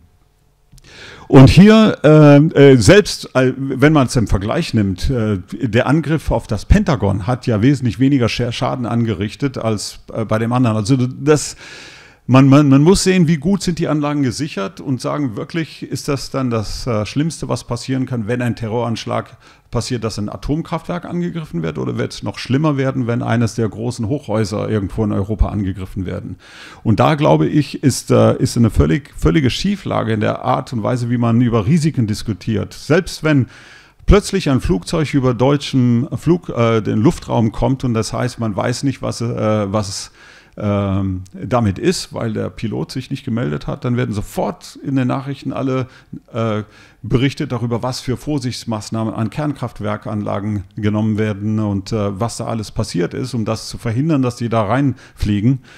Aber niemand fragt, was ist denn mit den Hochhäusern und, oder vielen anderen weichen Zielen, die man auch dann äh, quasi äh, schützen müsste. Also ist die, ganze Diskussion ist polarisiert seit 20, 30 Jahren, indem quasi das in uh, unser DNA mit drin fast dabei ist. Also ich bin ja auch in dieser, äh, in dieser Umgebung aufgewachsen zu der damaligen Zeit, wo es hieß, Kernkraftwerk ist böse und das steckt bei uns alles noch so tief im Blut. Und wenn wir hier sehen, wer wirklich mal einen Terroranschlag äh, geübt hat, dann war das einer, äh, Kaim Nissim, der das später zugegeben hat. Zu der Zeit wusste man das nicht. Und er ist dann später, das war ein, ein, ein äh, Raketen, die damals von, den, von Terroristen ausgeliehen worden ist. Und nachher hat äh, Kaim Nissim gesagt, okay, das war ja aber ein friedlicher Angriff, weil man wollte auch, man hat auch sicherstellen wollen, dass niemand persönlich zu Schaden gekommen ist, ähm, als ob man das von vornherein wissen könnte, wer alles dort gerade im Moment arbeitet oder nicht. Jedenfalls äh, sieht man diese, äh, dass auch wie diese Diskussion manchmal in ganz merkwürdigen Richtungen geht und wer wirklich äh, dort ein Problem werden kann. Also es sind Fanatiker, die glauben, dass das was Schlimmes ist, das müssen wir dann angreifen. Das sind, glaube ich, nicht so, so leicht äh, andere Terroristen.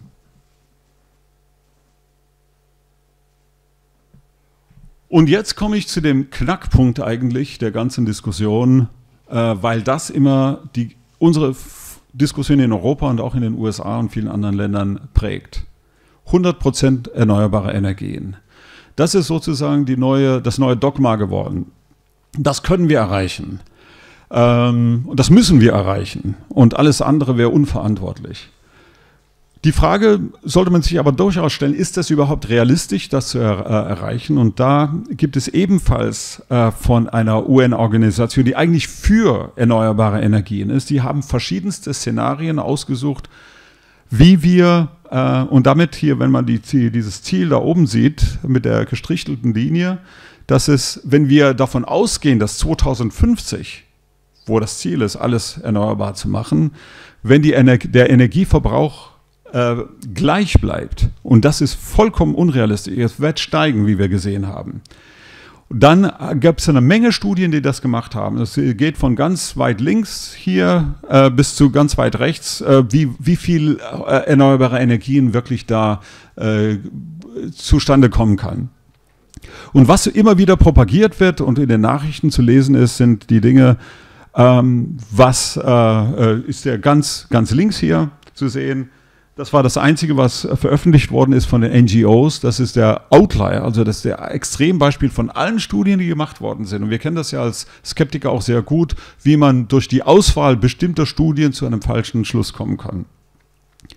Jedenfalls spricht nichts dafür, dass das eine realistische Option ist, 100% erneuerbare Energien zu machen. Zumindest nicht im Rahmen 2050 und ich glaube auch nicht 2100. Wenn, dann wäre es ein sehr viel längerfristige äh, Projekt und so viel Zeit haben wir einfach nicht. Und es gibt, und der Grund, warum das so ein Problem ist, dass es auch Probleme gibt mit Solar und Wind. Es ist eine Unstetigkeit. Es scheint nicht immer die Sonne und es bläst nicht immer der Wind. Und wir brauchen Mechanismen, um das Netz trotzdem stabil zu halten.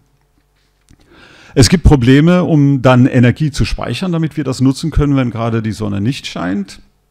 Und das ist auch nicht einfach zu lösen. Und selbst diese Speichergeräte brauchen, müssen produziert werden. Sie brauchen auch verschiedene äh, Rohstoffe, die durchaus auch problematisch sein können mit der Gewinnung. Und der Wert sinkt einfach. Je mehr man Solar und, äh, und Wind äh, ausgebaut hat, dann wird der Grenznutzen immer geringer. Und äh, ich will jetzt hier auch nicht gegen die erneuerbaren Energien, Solar- und Windkraft äh, sprechen, weil solange zum Beispiel in Deutschland alles gegen Kernkraft, ähm, Kernkraftwerke spricht im Sinne von der Politik und der ganzen äh, Entscheidungen, die da getroffen werden, haben wir gar keine andere Wahl. Es gab zum Beispiel in dem Ort Rostov, ähm, wo äh, ich auch wohne, wo auch die GWOP mit ist, ähm, den Versuch, zwei Windkraftanlagen zu bauen. Und da gab es eine große Opposition von einem grünen Abspalter und einem FDP-Abspalter, die gesagt haben, entweder das macht uns alle krank oder das, äh, das äh, hat negative Auswirkungen auf Vögel, was ganz klar ist.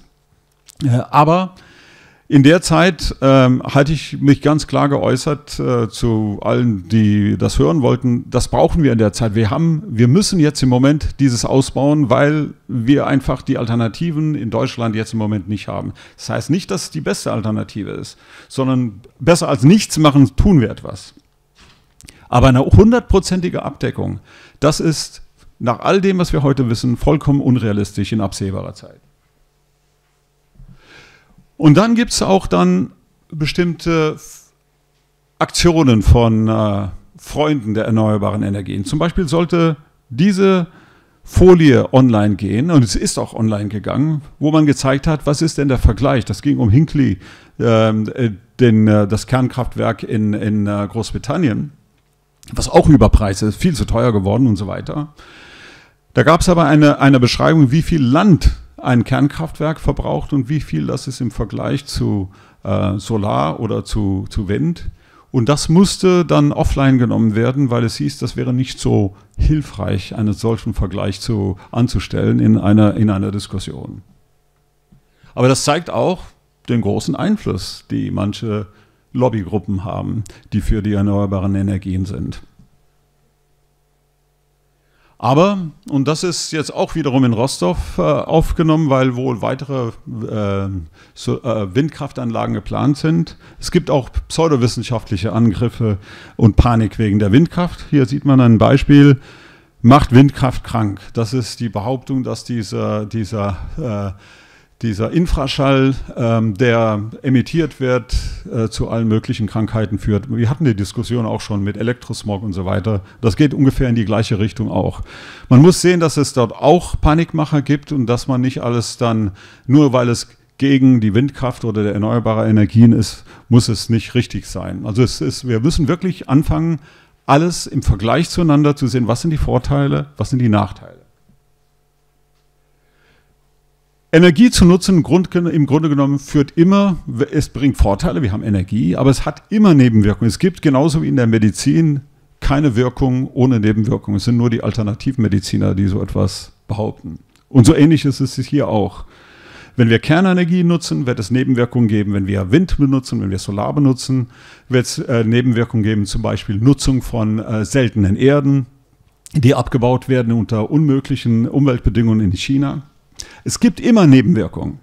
Und wir müssen Risiken und Nutzen miteinander vergleichen, um überhaupt zu einer vernünftigen Lösung zu kommen. Und da, glaube ich, haben wir ein Problem mit dem sogenannten Vorsorgeprinzip. Denn das Vorsorgeprinzip heißt ja nur, wir betrachten nur die Risiken. Und wir betrachten nur die Risiken, die politisch gewollt sind, muss man ja auch sagen. Also je nachdem, wer das auf die Agenda bringt, der sagt, okay, ob Glyphosat oder Gentechnik oder Kernkraft oder was auch immer, ähm, was auf, der, auf dem Agenda steht, das wird als gefährlich gesehen, wenn man zeigt, man kann, alles hat irgendeine gewisse Gefährdung. Und dann ist die Frage, was, was macht man da nicht? Nebenwirkungen gibt es überall. Aber auch nichts zu tun hat ein Risiko. Ähm, wenn man was nicht ausbaut und äh, die fossilen Verbrennungskraftwerke ähm, äh, nicht ersetzt, dann haben wir auch ein Problem. Und fossile äh, Verbrennungen sind tatsächlich das große Problem. Es ist nicht, also genau auf, das gleiche, auf den gleichen Punkt wieder zurückzukommen, es ist, wir haben nicht die Luxus heute, zu, äh, einen Kampf zwischen der erneuerbaren Energien und Kernkraft zu haben heute. Wir müssen wirklich sehen, dass wir alles nutzen können, was wir, was wir zu unseren, in unseren Händen haben. Und nochmals, Energiearmut oder teure Energie ist nicht der Weg. Das ist, nein, es ist ein Weg, ist nur nicht ein Weg, den ich will und ich hoffe auch nicht viele andere wollen, zurück in, äh, zur Natur in einer Zeit des 18. oder 19. Jahrhunderts, wo von sechs Kindern nur zwei überlebt haben und wo wir eine durchschnittliche Lebenserwartung hatten von 40 oder 50 Jahren. Und dann noch ein Punkt, der immer wieder eine Rolle spielt in der, äh, in der Diskussion. Ähm, ich habe das auch bei Professor Harald Lech in einigen seiner, äh, seiner Reden gehört. Wir sind alle zu gierig. Also wir schauen alle nur nach dem Geld und nicht nach dem großen Ganzen. Und hier will ich nur als Beispiel zeigen, auch eine ganz neue Untersuchung von Matthew Nisbet, der auch sehr stark in der amerikanischen Skeptikerbewegung engagiert ist. Der hat zusammengestellt, wo durch die großen Stiftungen in den USA das Geld steckt. Es ist eine halbe Milliarde Dollar. Und da gibt es jede Menge Programme für, für Solar, für, für Wind und um die Gefahren, auf die Gefahren von CO2-Emissionen zu, äh, zu hinzuzeigen. Für die Forschung im Bereich Kernkraft null. Es gibt einen kleinen äh, Betrag, nämlich 175.000 Dollar, um gegen Kernkraftwerk zu sein. Also dieses Argument, ähm, wir folgen nur wo äh, dem Geld. Äh, das ist hier, wird ja immer wieder aufgebracht. Und dann sollte man aber wirklich sagen, okay, wo, wo ist das denn wirklich wahr und äh, wer läuft denn eigentlich wirklich dem Geld nach? Und hier ist auch was ganz Neues, was ich gelesen habe. Das ist gerade von, von äh, vor kurzem über Probleme, die in der Energiestabilität in Deutschland, also dass äh, viel Geld ausgegeben wird, 1,5 4 Milliarden Euro, ähm, wo äh, die zusätzlich aufgebracht werden mussten, um äh, die Netze stabil zu halten. Und sofort sieht man da oben, es sind die Kernkraftwerke schuld. Ja? Also nicht das, vom, vom gesamten Ansatz her dass man die Netzstabilität sicherstellen muss, das kommt, weil wir erneuerbare Energien ähm, ausbauen. Und das hat auch ihre positiven Seite. Aber dann sollte man das auch so sagen und nicht dann sofort zeigen, auf die anderen, auf die Franzosen, das sind die Ausländer oder es ist Kernkraft, also nicht die gute Solar- oder Windkraft, die das Ganze erzeugt. Es sind eine ganze Menge Probleme, die erzeugt werden, die einfach heute geleugnet werden. Und neben der Leugnung des Klimawandels überhaupt haben wir auch eine neue Art von Faktenleugnung, die kommt, indem man vieles, was tatsächlich äh, passiert und wofür die Statistiken und wofür die Zahlen da sind. Es ist nicht so, dass ich die hier irgendwo erfunden habe. Das sind alles verfügbare Zahlen, die man, äh, die man, die man nachschauen kann. Das ist einfach, äh, da will man einfach bestimmte Dinge nicht mehr sehen. Und dann kann man die Frage stellen, ähm, was nun? Ich glaube, das Problem liegt darin, dass das gesamte Problem Klima gekapert worden ist. Wir fragen uns heutzutage gar nicht mehr, wie ändert sich denn tatsächlich, ändern sich die Emissionen? Sondern was haben wir denn überhaupt erreicht im Bereich der, der Senkung der, des CO2-Wertes in der Atmosphäre? Das Ziel ist ja, weniger CO2 zu haben, damit die globale Erwärmung eingedämmt wird. Stattdessen feiert man nicht Erfolge in diesem Bereich, was das eigentliche Ziel ist, sondern in einem Bereich, was höchstens ein Mittel ist. Wir haben aber mehr erneuerbare Energien, wir haben mehr Solar, wir haben mehr Windkraft. Das ist aber nicht das Ziel. Und dieses gekapert werden zeigt, dass wir eine völlig falsche Diskussion führen und äh, solange wir davon nicht wegkommen, haben wir ein massives haben wir es ein massives Problem zu tun. Wir zocken damit mit unserer Zukunft und mit dem Klima, statt die besten Lösungen zu finden. Und ich glaube, das ist das Hauptproblem, was wir heute haben. Und wir sind deswegen nicht in einer Position heute. Und es geht mir wiederum nicht darum zu sagen, wir wollen kein Solar oder kein Windkraft, sondern dieses Gegeneinander muss aufhören. Und vor allem müssen wir alle Möglichkeiten nutzen, die wir heute haben in unserer, äh, zu unserer Verfügung, wir müssen erneuerbare Energien ausbauen, aber wir müssen daneben auch die Kernkraft äh, wieder nutzen, auch die Frage stellen, ob wir Kernkraftwerke heute abschalten wollen, die noch 20 Jahre laufen könnten. Wir sollen neue äh, Generationen von Biokraftwerken entwickeln, äh, Biokraftstoffen äh, entwickeln. Also es gibt eine ganze Menge zu tun und wir sind nicht in einer Position heute, in dem wir wählerisch sein können anhand der massiven Herausforderungen, die vor uns stehen. Und deswegen ist es wesentlich für uns alle, dass wir die Scheuklappen absetzen und zu sehen, was können wir am besten tun äh, und statt gegeneinander zu arbeiten, miteinander zu arbeiten. Und natürlich brauchen wir ne, neben, äh, daneben, und das sage ich als jemand, der auch in der Forschung mit drin ist, wir brauchen auch äh, Forschung nicht als Selbstzweck, sondern weil äh, wir brauchen alles, was wir nutzen können, um die ähm, Erhöhung der, der CO2-Werte zu begrenzen. Aber wir müssen inzwischen auch, weil ein, ein wenig von diesem schon passiert. Wir müssen auch sehen, wie wollen wir uns anpassen, wenn die Meeresspiegel steigen, wie wenn die Landschaften sich verändern, wenn zum Beispiel ähm, äh, Flächen für die äh, Nutzung für die Landwirtschaft verloren gehen, weil das nicht mehr nutzbar ist durch den Salzgehalt. Müssen wir da neue Verfahren, eine neue Art von Lebensmittel äh, verwenden, zum Beispiel auch gentechnisch veränderte, zum Beispiel um äh, äh, die Umweltbedingungen zu, äh, entgegenzuwirken. Also Forschung und Innovation, da gibt es genügend zu tun in der nächsten Zeit, zusätzlich zu dem grundsätzlichen Auftrag zu sagen, wir müssen alles nutzen, was uns zur Verfügung steht. Und dann möchte ich noch ganz zum Schluss ähm, ein paar Bücher empfehlen, weil wir sind ja sehr stark geprägt von der Anti-Kernkraftbewegung. Es tut sich aber was. Äh, nicht nur in dem Vortrag, den ich jetzt halte. Ich hatte ja früher angefangen, indem ich gesagt habe, ich wollte eigentlich nur über das Klima äh, sprechen.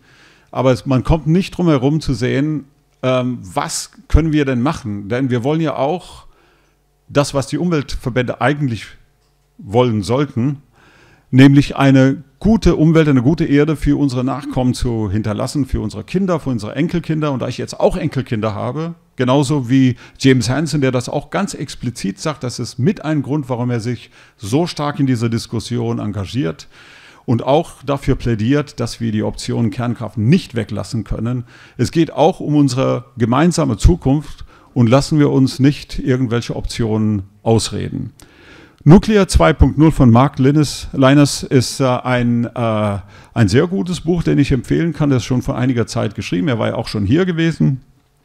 Dann gibt es zwei neuere Bücher, Climate Gamble von, äh, von zwei Finnen, die auch über die Situation des äh, neuen äh, Kernkraftwerks in Finnland sprechen.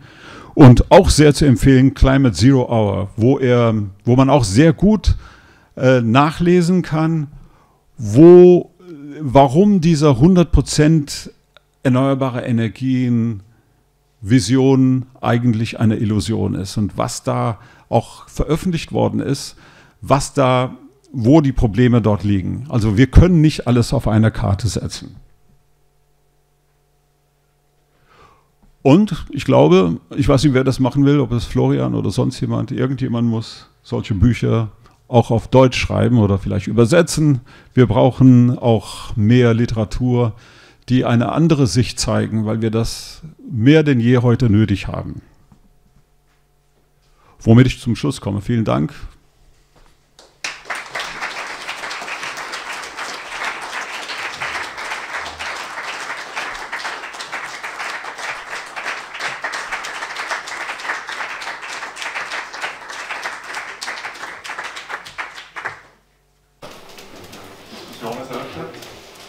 muss Diskussion geben, also bei so einem Thema. Ich glaube, ich mehr Licht haben noch.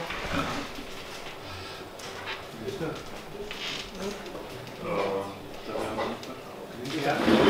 Und zunächst danke für die Berichterstattung der Nuklearkraft. Und dann äh, zwei Kritikpunkte und ein Anschlusspunkt. Äh, nämlich, ich halte die 20 Terawatt für 2100 für völlig, völlig utopisch und illusorisch. Welches? Äh, die 20 Terawatt. 20 Terawatt für 2100. Das ist zu niedrig. Viel zu niedrig. Äh, okay. Wenn man sich anschaut, was Blockchain-Technologien und äh, Cryptocurrency jetzt schon verbrauchen und dass man da regulatorisch mit dagegen arbeiten kann, äh, wird nicht passieren. Keine Chance. Aber der zweite Punkt ist. Vielleicht gehe ich mal direkt darauf ein. Ich habe ja versucht zu zeigen, wenn die optimistischen Einstellungen von allen äh, Umweltverbänden und so weiter stimmen, selbst dann haben wir ein Problem. Aber ich gebe zu, wir werden wahrscheinlich ein größeres Problem haben. Ja. Äh, der zweite Punkt das sind die Biokraftstoffe. Da glaube ich, dass die Furcht vor dem bösen, bösen gentechnisch veränderten Organismus auch im Weg stehen wird äh, also sowas wie gentechnisch veränderte Algen könnten eine, äh, ein Teil der Lösung sein, aber ich glaube nicht, dass das in absehbarer Zukunft politisch durchboxbar ist, zumindest in Westeuropa. Und äh, drittens äh, kenne ich selber äh, Klimaleugner, beziehungsweise kannte ich, mein Großonkel war einer.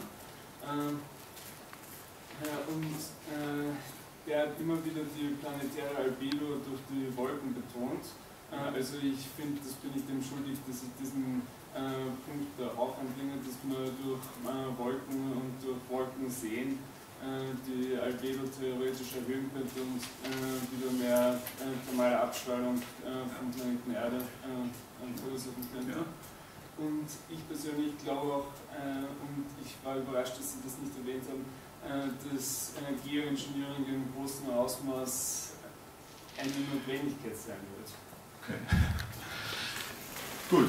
Ähm, ich meine, auch beim IPCC ist es ja so, dass auch äh, Geo Geoengineering-Optionen mit durchdacht, äh, mit, äh, durchgedacht werden. Ähm, äh, zum Beispiel, indem man Aerosole in die, in die äh, obere Atmosphäre äh, bringt.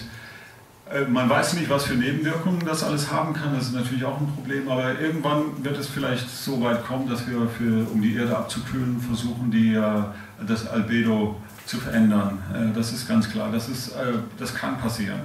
Die Frage davor war, ging um äh, Biokraftstoffe. Genau. Okay, mit Biokraftstoffen es gibt schon Forschung in diesem Bereich, auch mit gentechnisch veränderten Algen und Cyanobakterien zum Beispiel.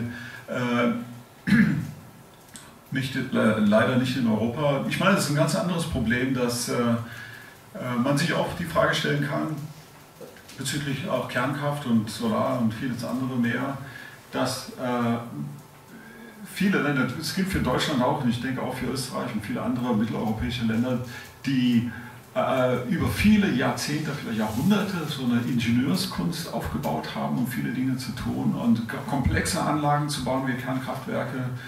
Und ähm, das heißt, wenn wir auch umsteigen komplett auf solch, von, solchen, ähm, von solchen Anlagen auf äh, äh, Solar- und, und, äh, und, und Windkraft, dann haben wir, brauchen wir auch eine andere Qualität der Qualifikation. Das muss man ja auch sagen. Also das heißt, wir geben auch sehr viel auf, was, äh, was an, an Wissen äh, mit hier aufgebaut worden ist. Und leider gehen die jetzt nach, in andere Länder. Man sieht in Südkorea, hat es da auch ein, durch einen Regierungswechsel Probleme gegeben, aber die haben viele Jahre, die haben auch äh, Kernkraft sehr gut ausbauen können. Die hatten, ähm, äh, aber es gibt eine ganze Menge fragen, wie man äh, Kernkraftwerke so aufbauen kann, dass sie nicht so teuer werden wie Hinkley oder in Finnland. Ähm, und äh, das sind auch Dinge, die wir durchaus mal, mal betrachten müssen. Erstmal danke für den netten Vortrag. Meine Frage bezieht sich auf den Punkt, den Sie, glaube ich, in Ihrem Vortrag nicht erwähnt haben, und zwar, wie lange haben wir noch Ressourcen für die Kernkraft? Ah, okay, ja. Also da gibt es, je nachdem, äh, zunächst mal, wenn man jetzt nur von Uran ausgeht, ähm, also die, die Frage war, wie, wie lange haben wir die Brennstoffe noch mit Uran und so weiter. Also da spielt auch mit eine Rolle, welche Technologien wir anwenden wollen. Zum Beispiel, ob wir Wiederverarbeitung, äh, Wiederverarbeitung nutzen, ob wir wirklich den Müll weg, wegtun oder den wiederverwenden. Wenn wir Uran wiederverwenden, haben wir eine wesentlich längere Nutzung. Da können wir auch von 500 oder 1000 Jahren ausgehen. Wenn wir es natürlich alles gleich wegbuddeln, dann haben wir das Problem, wir müssen dann neu äh, Uran ähm, äh, mit, ähm, mit, äh, mit aus der Erde herausnehmen. Vielleicht gibt es das auch aus den Ozeanen, da gibt es auch einige Vorschläge.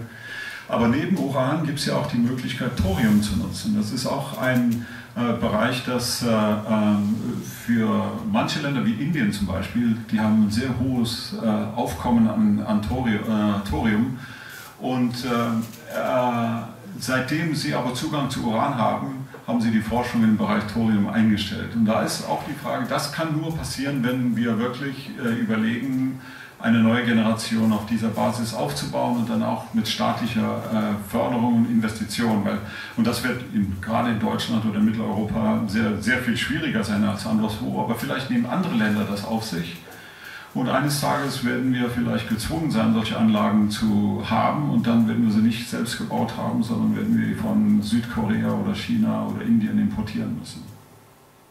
Ich habe nur eine ganz kurze Frage, weil Sie eben die Thoriumreaktoren angesprochen haben, das heißt, glaube ich, Flüssigsalzreaktoren, wenn ich alles genau. Ja. Ähm, aber was ich gehört habe, braucht es noch ein bisschen, bis die wirklich ähm, also ja. effektiv werden. Also sie genau. nur in das ist auch ein langfristiges Programm. Wir können keine solche Kraftwerke in zehn Jahren bauen, sondern das sind mehr 30 Jahren. Ja, das stimmt. Wie realistisch finden oder wie realistisch glauben Sie, sind ähm, utopischere Ansätze wie Kernfusion bis 2100? Ähm, ich denke, Kernfusion wie viele andere neuere Ansätze, es gibt ja ganz ausgefallene Ideen, dass man Windkraftwerke in der höheren Atmosphäre macht oder Anlagen auf dem Mond, die dann quasi keine Probleme haben mit der Sonneneinstrahlung, dass man da irgendwie mit so, einem, so, einem, äh, so einer Verbindung äh, diese Energie rüberbeamt auf die Erde. Es gibt ganz, äh, ganz interessante neue Fragen für die Zukunft. Aber ich glaube, das müssen wir parallel betreiben. Das sind Fragen, die wir in der Zukunft beantworten müssen. Aber was tun wir denn eigentlich heute mit den, mit den Mitteln, die wir, uns, die wir hier haben? Wir haben Hydro, wir haben also Wasserkraft, wir haben die erneuerbaren Energien und wir haben Kernkraftwerke der Generation 1 und 2 schon, Generation 3 und dann Generation 4. Es gibt ja viele neuere Generationen von Kernkraftwerken, auch mit der, äh, äh, auf der Basis von Uran, die wesentlich sicherer sind, effektiver sind und so weiter. Und da gibt es auch einige Startups in den USA und anderswo, sogar in Deutschland, die, äh, die an solchen Dingen arbeiten. Ja, also bezüglich der Verfügbarkeit von äh, spaltbarem Material für, für äh, Kernreaktoren habe ich nicht so, wir, nicht solche großen Sorgen, weil erstens einmal kann ja zum Beispiel auch mit Plutonium solche äh, Dinge betreiben. Das Problem ist die, der politische Wille, das zur Verfügung zu stellen, weil man damit natürlich auch Plutonium sehr gut äh, Kernwaffen bauen kann, ist, ist ein großes Problem. Aber die eigentliche Frage, die ich jetzt habe, ist ganz was anderes, ist die folgende. Nehmen wir einmal an, ähm, wir würden komplett auf erneuerbare Energien umsteigen und die erneuerbaren Energien haben ja die Eigenschaft, dass sie sozusagen keine neue Energie erzeugen. Sie wandeln ja nur um von einer Seite in die andere. Die Atomkraft allerdings erzeugt neue Energie. Das heißt, die dissipiert das aus, aus Materie. Gibt's, ist, das, ist das irgendwie etwas, was man sich auch anschauen müsste? Diese, wenn man jetzt wirklich alles aus äh, Atomkraft machen würde, würde man natürlich die Energiebilanz der, Erde in die Höhe treiben. Ob das relevant ist oder nicht, weiß ich nicht. Ja. Mich interessieren, ob das eine Fragestellung ist. Ja. Also ich habe das jetzt, muss ich ganz offen gestehen, nicht selbst ausgerechnet, wäre eine interessante Frage zu klären, aber ich, meine erste Schätzung wäre, dass die extra, die zusätzliche Energie oder die Aufheizung, die dadurch entstanden, äh, entsteht, nicht, nicht wesentlich was ändern wird. Aber das wäre eine Frage, die man durchaus fragen kann, macht es einen Unterschied 0,01 Grad oder ist es schon in einem höheren Bereich? Ähm, das ist, äh, ja, das müssen wir mal eventuell mal anschauen. Das, dazu habe ich im Moment jetzt keine sofortige Antwort. Das ist nicht sehr viel. Nee, es wird nicht, ich vermute, es wird nicht sehr viel sein. Sonst, ich sag mal so, wenn es so wäre, hätten wir es von den vielen Verbänden, die Anti-Kernkraft sind, schon längst gehört. Also insofern, das ist der Hauptgrund, warum ich da ich glaube, dass es, dass es ein Problem ist.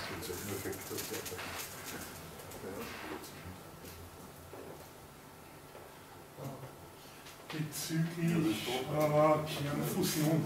Das ITER-Projekt, was ja momentan im Bau gegriffen ist, wäre das jetzt das Nonplusultra quasi für die Energieherstellung, würde alles andere das in den Schatten stellen? Das weiß ich jetzt gar nicht. Also ich meine, wenn wir das vergleich, äh, vergleichen mit den Kernkraftwerken der Generation 4, das wirklich so großer Vorteil ist, denn auch dort müssen die Rohstoffe äh, gefunden werden, also diese Deuterium oder Tritium, was man da äh, sich holen muss in größeren Mengen.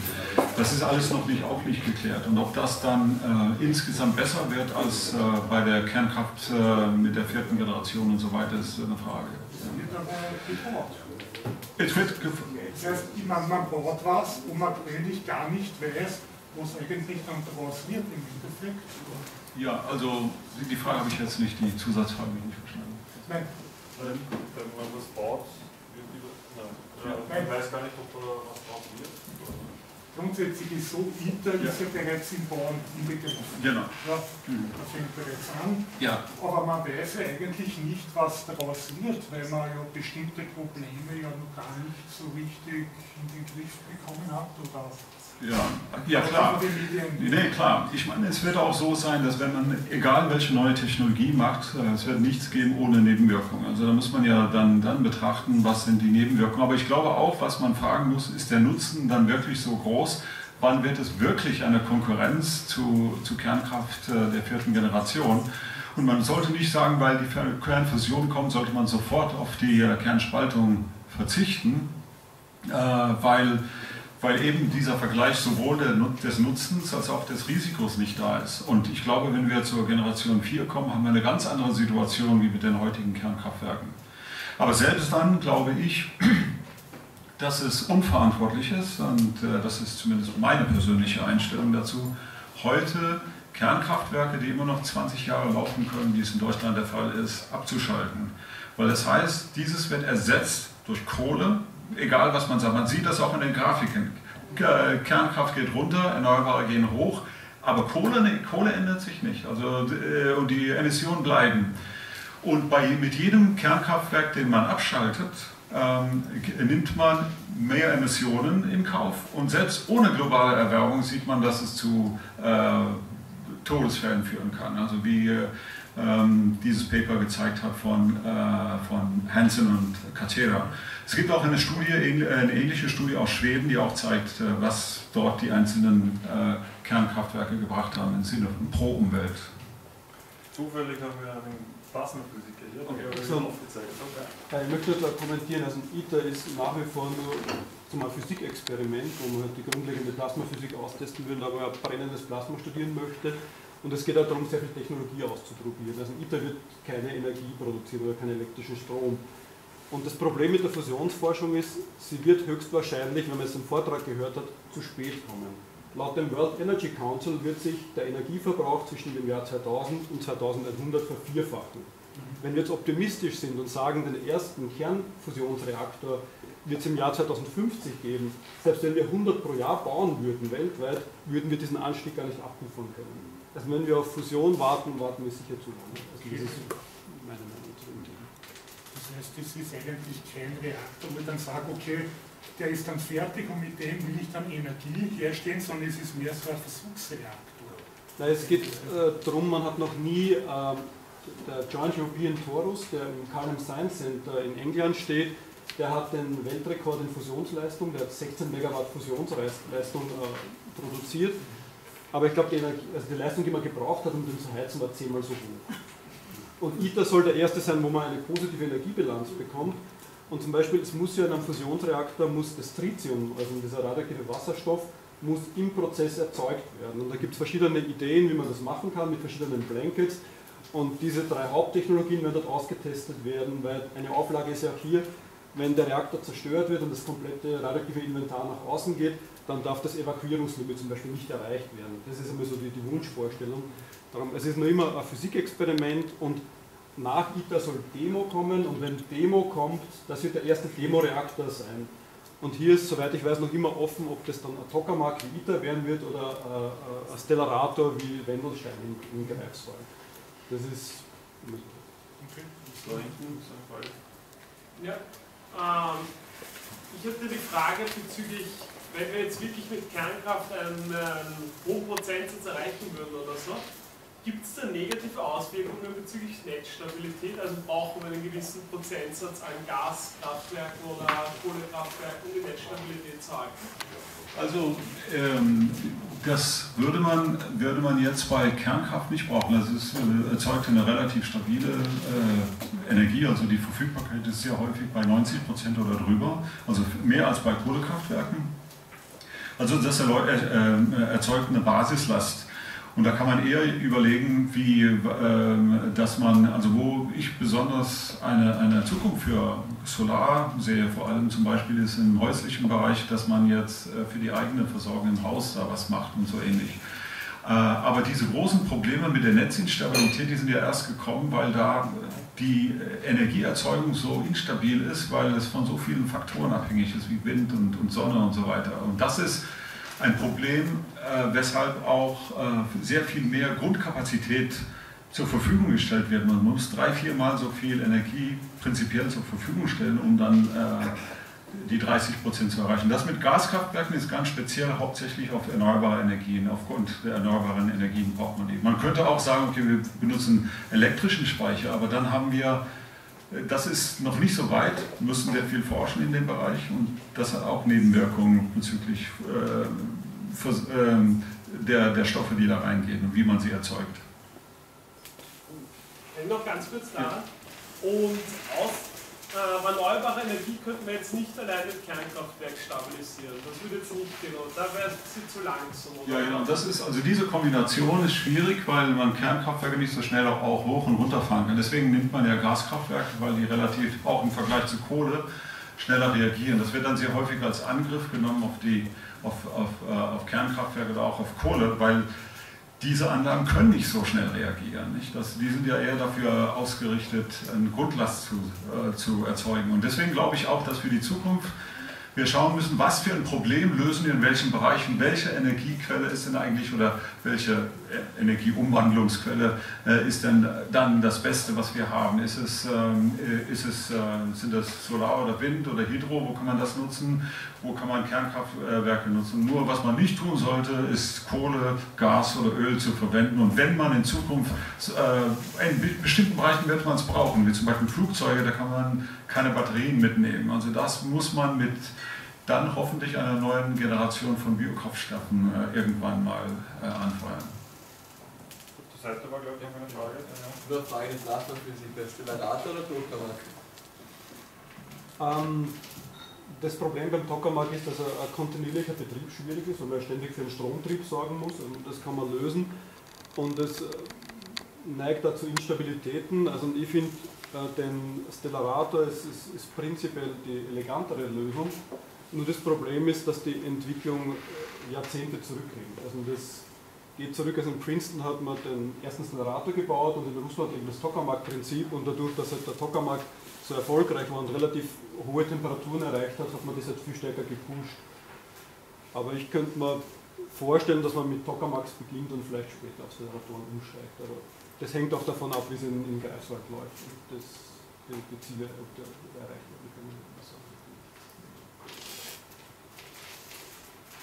Kurze Frage und zwar wegen der Klimawandelleugnung. Der Physiker Werner Gruber ist ein Begriff, er leugnet zwar nicht den Klimawandel an und für sich, sondern eher das menschliche Zutun, was diesen Wandel verursacht.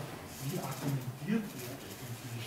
Also ich kenne seine Argumentation speziell nicht, aber was viele, viele sagen zum Beispiel ist, dass äh, in der Erdgeschichte ist es ja meistens so gewesen, dass ähm, dass zunächst einmal die Temperatur angestiegen ist und dann die, die CO2-Werte. Das wird sehr häufig als äh, Grund genutzt, aber das ist ja ein gekoppelter Prozess, muss man ja sagen. Wenn das eine steigt, wird das andere mit hoch, sonst geht es wieder äh, sofort wieder runter. Nicht? Also insofern ist das, äh, ist das eines der Argumente, die genutzt werden, aber wir kennen auch äh, als Gegenargument auch, da gibt es einige äh, äh, Perioden in der Erdgeschichte, wo es umgekehrt war, wo es sehr wahrscheinlich ist, dass die CO2-Erzeugung zuerst kam aufgrund eines äh, irgendeines äh, Vorfalls und dann ist es äh, ähm, das PETM, das äh, Pleistocene Eocene Terminal Maximum, äh, da ist, äh, das ist so ein Fall.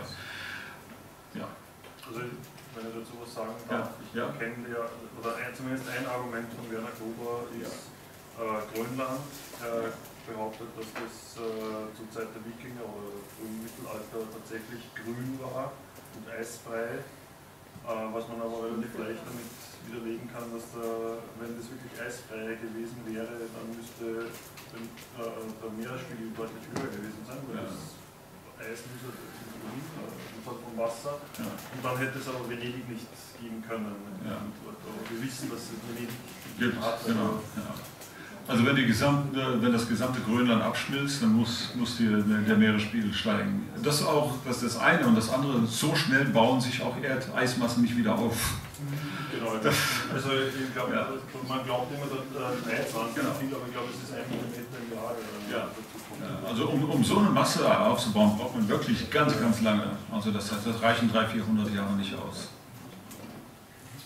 Ähm, haben Sie eigentlich einen, einen Einblick in die Risikoanalyse, wie es da in dem Bereich derzeit sich entwickelt? Also gibt es da die Tendenz von diesem ähm, äh, Vorsorgeprinzip wegzugehen oder ist das noch fest verankert, also verankert? Weil meine Schwester hat erst vor kurzer Zeit in ihrem Studium noch gelernt, dass wenn dass die Auswirkung extrem ist, also sagen wir mal supergau-mäßig, dann ist es egal, wie die Wahrscheinlichkeit der Eintritts ist, dieses Risiko sei nicht akzeptabel. Ja.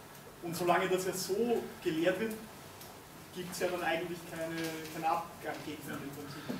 Ja, es ist, ist aus meiner Sicht leider so. Ich, ich meine, wenn wir sagen, wir, äh, ich bin gegen das Vorsorgeprinzip in der jetzigen Form, weil das hat sich immer mehr gesteigert, dass selbst kleine, also geht nicht um große Risiken, selbst kleine Risiken werden dazu genutzt, um eine Entwicklung zu blockieren. Und weil fast alles, was wir tun, gefährlich ist, würde man nichts mehr tun. Also wir müssen weg von dieser, ähm, das ist noch nicht in der Diskussion, das müssen wir erst wirklich anstoßen, dass wir sagen, ein richtiges, gutes Vorsorgeprinzip ist, dass wir nicht nur Risiken ausweichen, sondern auch das, was für uns nützlich ist, nutzen. Und erst in diesem Vergleich können wir sagen, hat es sich gelohnt oder nicht. Ja, wenn, weil das Nichtstun kostet auch etwas. Also wissen Sie vielleicht, wie es mit dem äh Know-how in der, in, der, in der Kernenergieforschung ausschaut. Weil in meiner Wahrnehmung war die letzte Hochphase so in den 70er, 80ern. Die Leute sind alle in den Ruhestand gegangen, dann war das Thema sehr unpopulär. hat man das Wissen irgendwie retten können? Kann man auf das aufbauen oder müsste jetzt eine neue Generation an Wissenschaftlerinnen kommen, die das quasi jetzt wieder pusht? Ja, äh, es gibt diese, es gibt auch Berichte darüber, dass eine neue Generation das auch tatsächlich tut. Selbst in Deutschland, also in Berlin gibt es ein Startup, der damit arbeitet. Es gibt ein Startup, The New Fire in den USA, wo sehr viele ähm, enthusiastische ähm, Wissenschaftler, die auch wirklich das Klima, den Klimawandel als das Problem sehen, den sie helfen wollen zu lösen. Es gibt diese neue Generation, aber es gibt auch gleichzeitig äh, äh, Wissenschaftler in Südkorea zum Beispiel, die über 40 Jahre lang da, daran gearbeitet haben und äh, da ist ein Teil des Wissens mit aufgebaut worden. Wir haben im Bereich Mitteleuropa leider äh, ein bisschen von diesem Wissen verloren. Also dann müssen wir es wieder reinholen von anderswo. Sonst sind wir eines Tages wirklich in der Lage, wo wir das tun müssen. Und dann haben wir nicht die Leute, die das tun. Wir werden sie importieren müssen, zum Beispiel aus Südkorea. Auch Russland baut ja äh, weiterhin Kernkraftwerke also und, und verkauft die auch. Wie hoch bewerten Sie den Einfluss von Methanquadrat? Es wird immer wieder von einem Methanschock gesprochen, wenn es an Shellbrennern dann zu warm wird? Also das ist ein, ein äh, tatsächliches Problem, was äh, zu einem solchen Kipppunkt führen kann. Also wenn plötzlich äh, große Mengen Methan in die Luft gehen, ähm, wird das ein massives Problem. Ja, das kann man nicht ausschließen. Muss ich, muss ich hier sagen. Ähm, das, was wir tun können, ist alles zu tun, damit die globale Erwärmung nicht so schnell vorangeht, wie es, wie es jetzt geht. Also das ist aber nur eines der Kipppunkte, die passieren können. Es sind auch andere, dass dann äh, äh, große Blöcke aus dem, äh, aus dem Antarktis äh, abbrechen und dann in die Meeres, äh, ins Meer kommen. Und äh, wenn solche große Schmelzvorgänge passieren auf Grönland oder anderswo, das sind auch, man, man weiß es auch aus der Erdgeschichte, als äh, Nordamerika und Europa völlig überfroren waren, dass da auch äh, große Massen Eis ins Meer gefallen sind und dass das dramatische Auswirkungen hatten. Und da ist das ist mit dem Klima ein Flipflop äh, gewesen. Dann erstmal, wenn sehr viel mehr Eis auf dem Meer ist, dann kann es auch zu einer Abkühlung führen, weil plötzlich mehr Reflekti Reflexionsmasse da ist. Also es sind sehr viele Effekte, die dort auftreten, aber langfristig heißt es natürlich, die Temperaturen gehen hoch wenn, ähm, wenn Eis, Eismassen abbrechen. Aber es kann sein, auch wiederum, wie, der, wie es mit dem äh, sogenannten Golfstrom, also diese besonderen warmen Verhältnisse, die wir in Europa haben, dass selbst bei einem Klimawandel es in Europa kälter werden kann. Also in, in der Welt insgesamt wird es wärmer, aber in Europa wird es kälter. Das ist auch ein Szenario, das, der durchaus möglich ist. Und warum misst man jetzt Klimatote sozusagen? weil Sie gemeint haben, es gibt Millionen Menschen, die sterben durch Emissionen, aber nur 30 also das ist genau das, ähm, was man weiß, welche Emissionen, welche gesundheitlichen äh, Auswirkungen, zum Beispiel Kohlepartikel oder auch äh, andere Schadstoffe, die mit aus, äh, aus, ausgestoßen werden, haben auf die menschliche Gesundheit, was denn das, die Wahrscheinlichkeit ist auf das äh, auf die Gesundheit der Menschen und das kann man dann hochrechnen, auf wie viele wird es betreffen in diesem Sinne. Es gibt auch so ähnlich, und das macht ja auch Greenpeace und machen viele andere auch mit der Kernkraft, indem sie äh, sagen, was passiert, wenn die Radioaktivität in die ganze Welt verteilt wird. Und dann hängt es sehr stark auch von den Modellen, ob sie stimmen oder nicht. Und hier ist es in, in Sachen ähm, äh, Gesundheitsgefährdung durch Schadstoffe, durch chemische Schadstoffe, die sind viel besser belegt als niedrig, äh, niedrige Dosen, zum Beispiel, die durch einen Kernkraftunfall passieren, wenn, oder eine erhöhte Radioaktivität, wenn man in einem Urlaubsort ist, wenn, das Stadt, äh, wenn, da, wenn wir da eine Jahresbelastung haben von 70 oder über 100 Millisievert. Also gibt es tatsächlich konkrete Krankheitsbilder? Ja, genau. Ich meine, es, es gibt diesen, äh, zum Beispiel diesen einen äh, Paper von Hansen und Katera, das auf, auf die kann, können, Sie, äh, können Sie lesen, zum Beispiel, das wird dann da genau erläutert wieder diese Berechnung kommen. Aber gibt es nicht noch viel mehr Todesfälle durch den Klimawandel, durch Dürre zum Beispiel in Gegenden, wo viele äh, äh, Leute wohnen? Ja. Müsste man auch einrechnen. Genau. Also ich habe hier bei diesem Fall ja gesagt, was heute schon passiert, also ohne dass wir auf den Klimawandel warten müssen. Also das heißt, äh, selbst wenn es keinen Klimawandel gäbe, haben wir ein Problem mit der Kohleverbrennung. Aber das ist ganz klar, wenn jetzt äh, es eine globale Erwärmung gibt, äh, dann kann ich nur empfehlen, Mark Linus Six Degrees zu lesen. Was heißt 1 Grad, was heißt 2 Grad, was heißt 3 Grad? Da kann man das in Stufen sehen, was da passiert. Und ab 4, 5, 6 Grad es werden bestimmte Gegenden auf der Erde nicht mehr bewohnbar sein. Also in Afrika kann man evakuieren.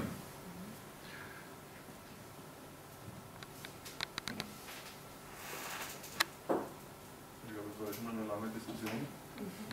Oder? Ähm, Nach ihr, genau. Ja. Ich, mich hat nur gewundert, dass niemand die Frage stellt, was mit der Kernwaffenverbreitung. Also wenn jetzt, äh, das, das ist eine Frage, die sehr häufig kommt. Aber das können wir vielleicht der, ja. nachher diskutieren. Okay. Dann herzlichen Dank, Amadeus.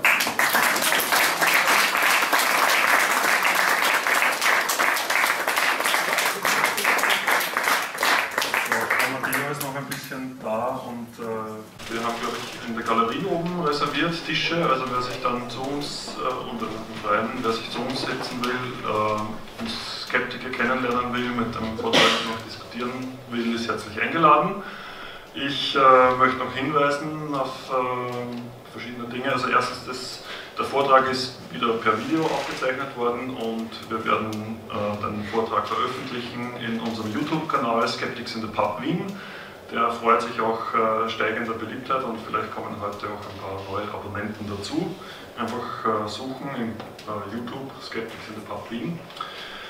Äh, ja, noch Hinweise auf die nächsten Ausgaben der Skeptics.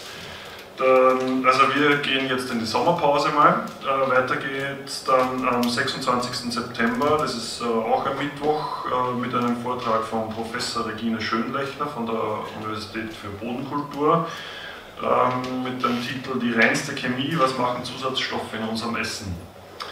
Dann am Dienstag, den 16. Oktober, spricht Diplom-Ingenieur Gilbert Hangel von der Med-Uni Wien äh, über zwischen Elektrosmog und Magnetfeldtherapie, was machen elektromagnetische Felder mit unserem Körper und wie kann uns das schaden oder nutzen. Also Elektrosmog-Thema. Und äh, am Mittwoch, den 14. November, haben wir einen bekannten Mann hier, äh, den Statistiker Erich Neuwirth. Äh, und der spricht natürlich über Statistik, wie man sie ge- und missbrauchen kann. Ja, ähm, bei den Skeptics in the Pub diskutieren wir die heißen Themen äh, der Gesellschaft, Wissenschaft und Technik bei einem kühlen Bier. Das ist genau das, was ich jetzt brauche. Ähm, damit bin ich am Ende angekommen. Danke fürs Kommen. Ich freue mich auf ein Wiedersehen und bitte bleibt skeptisch.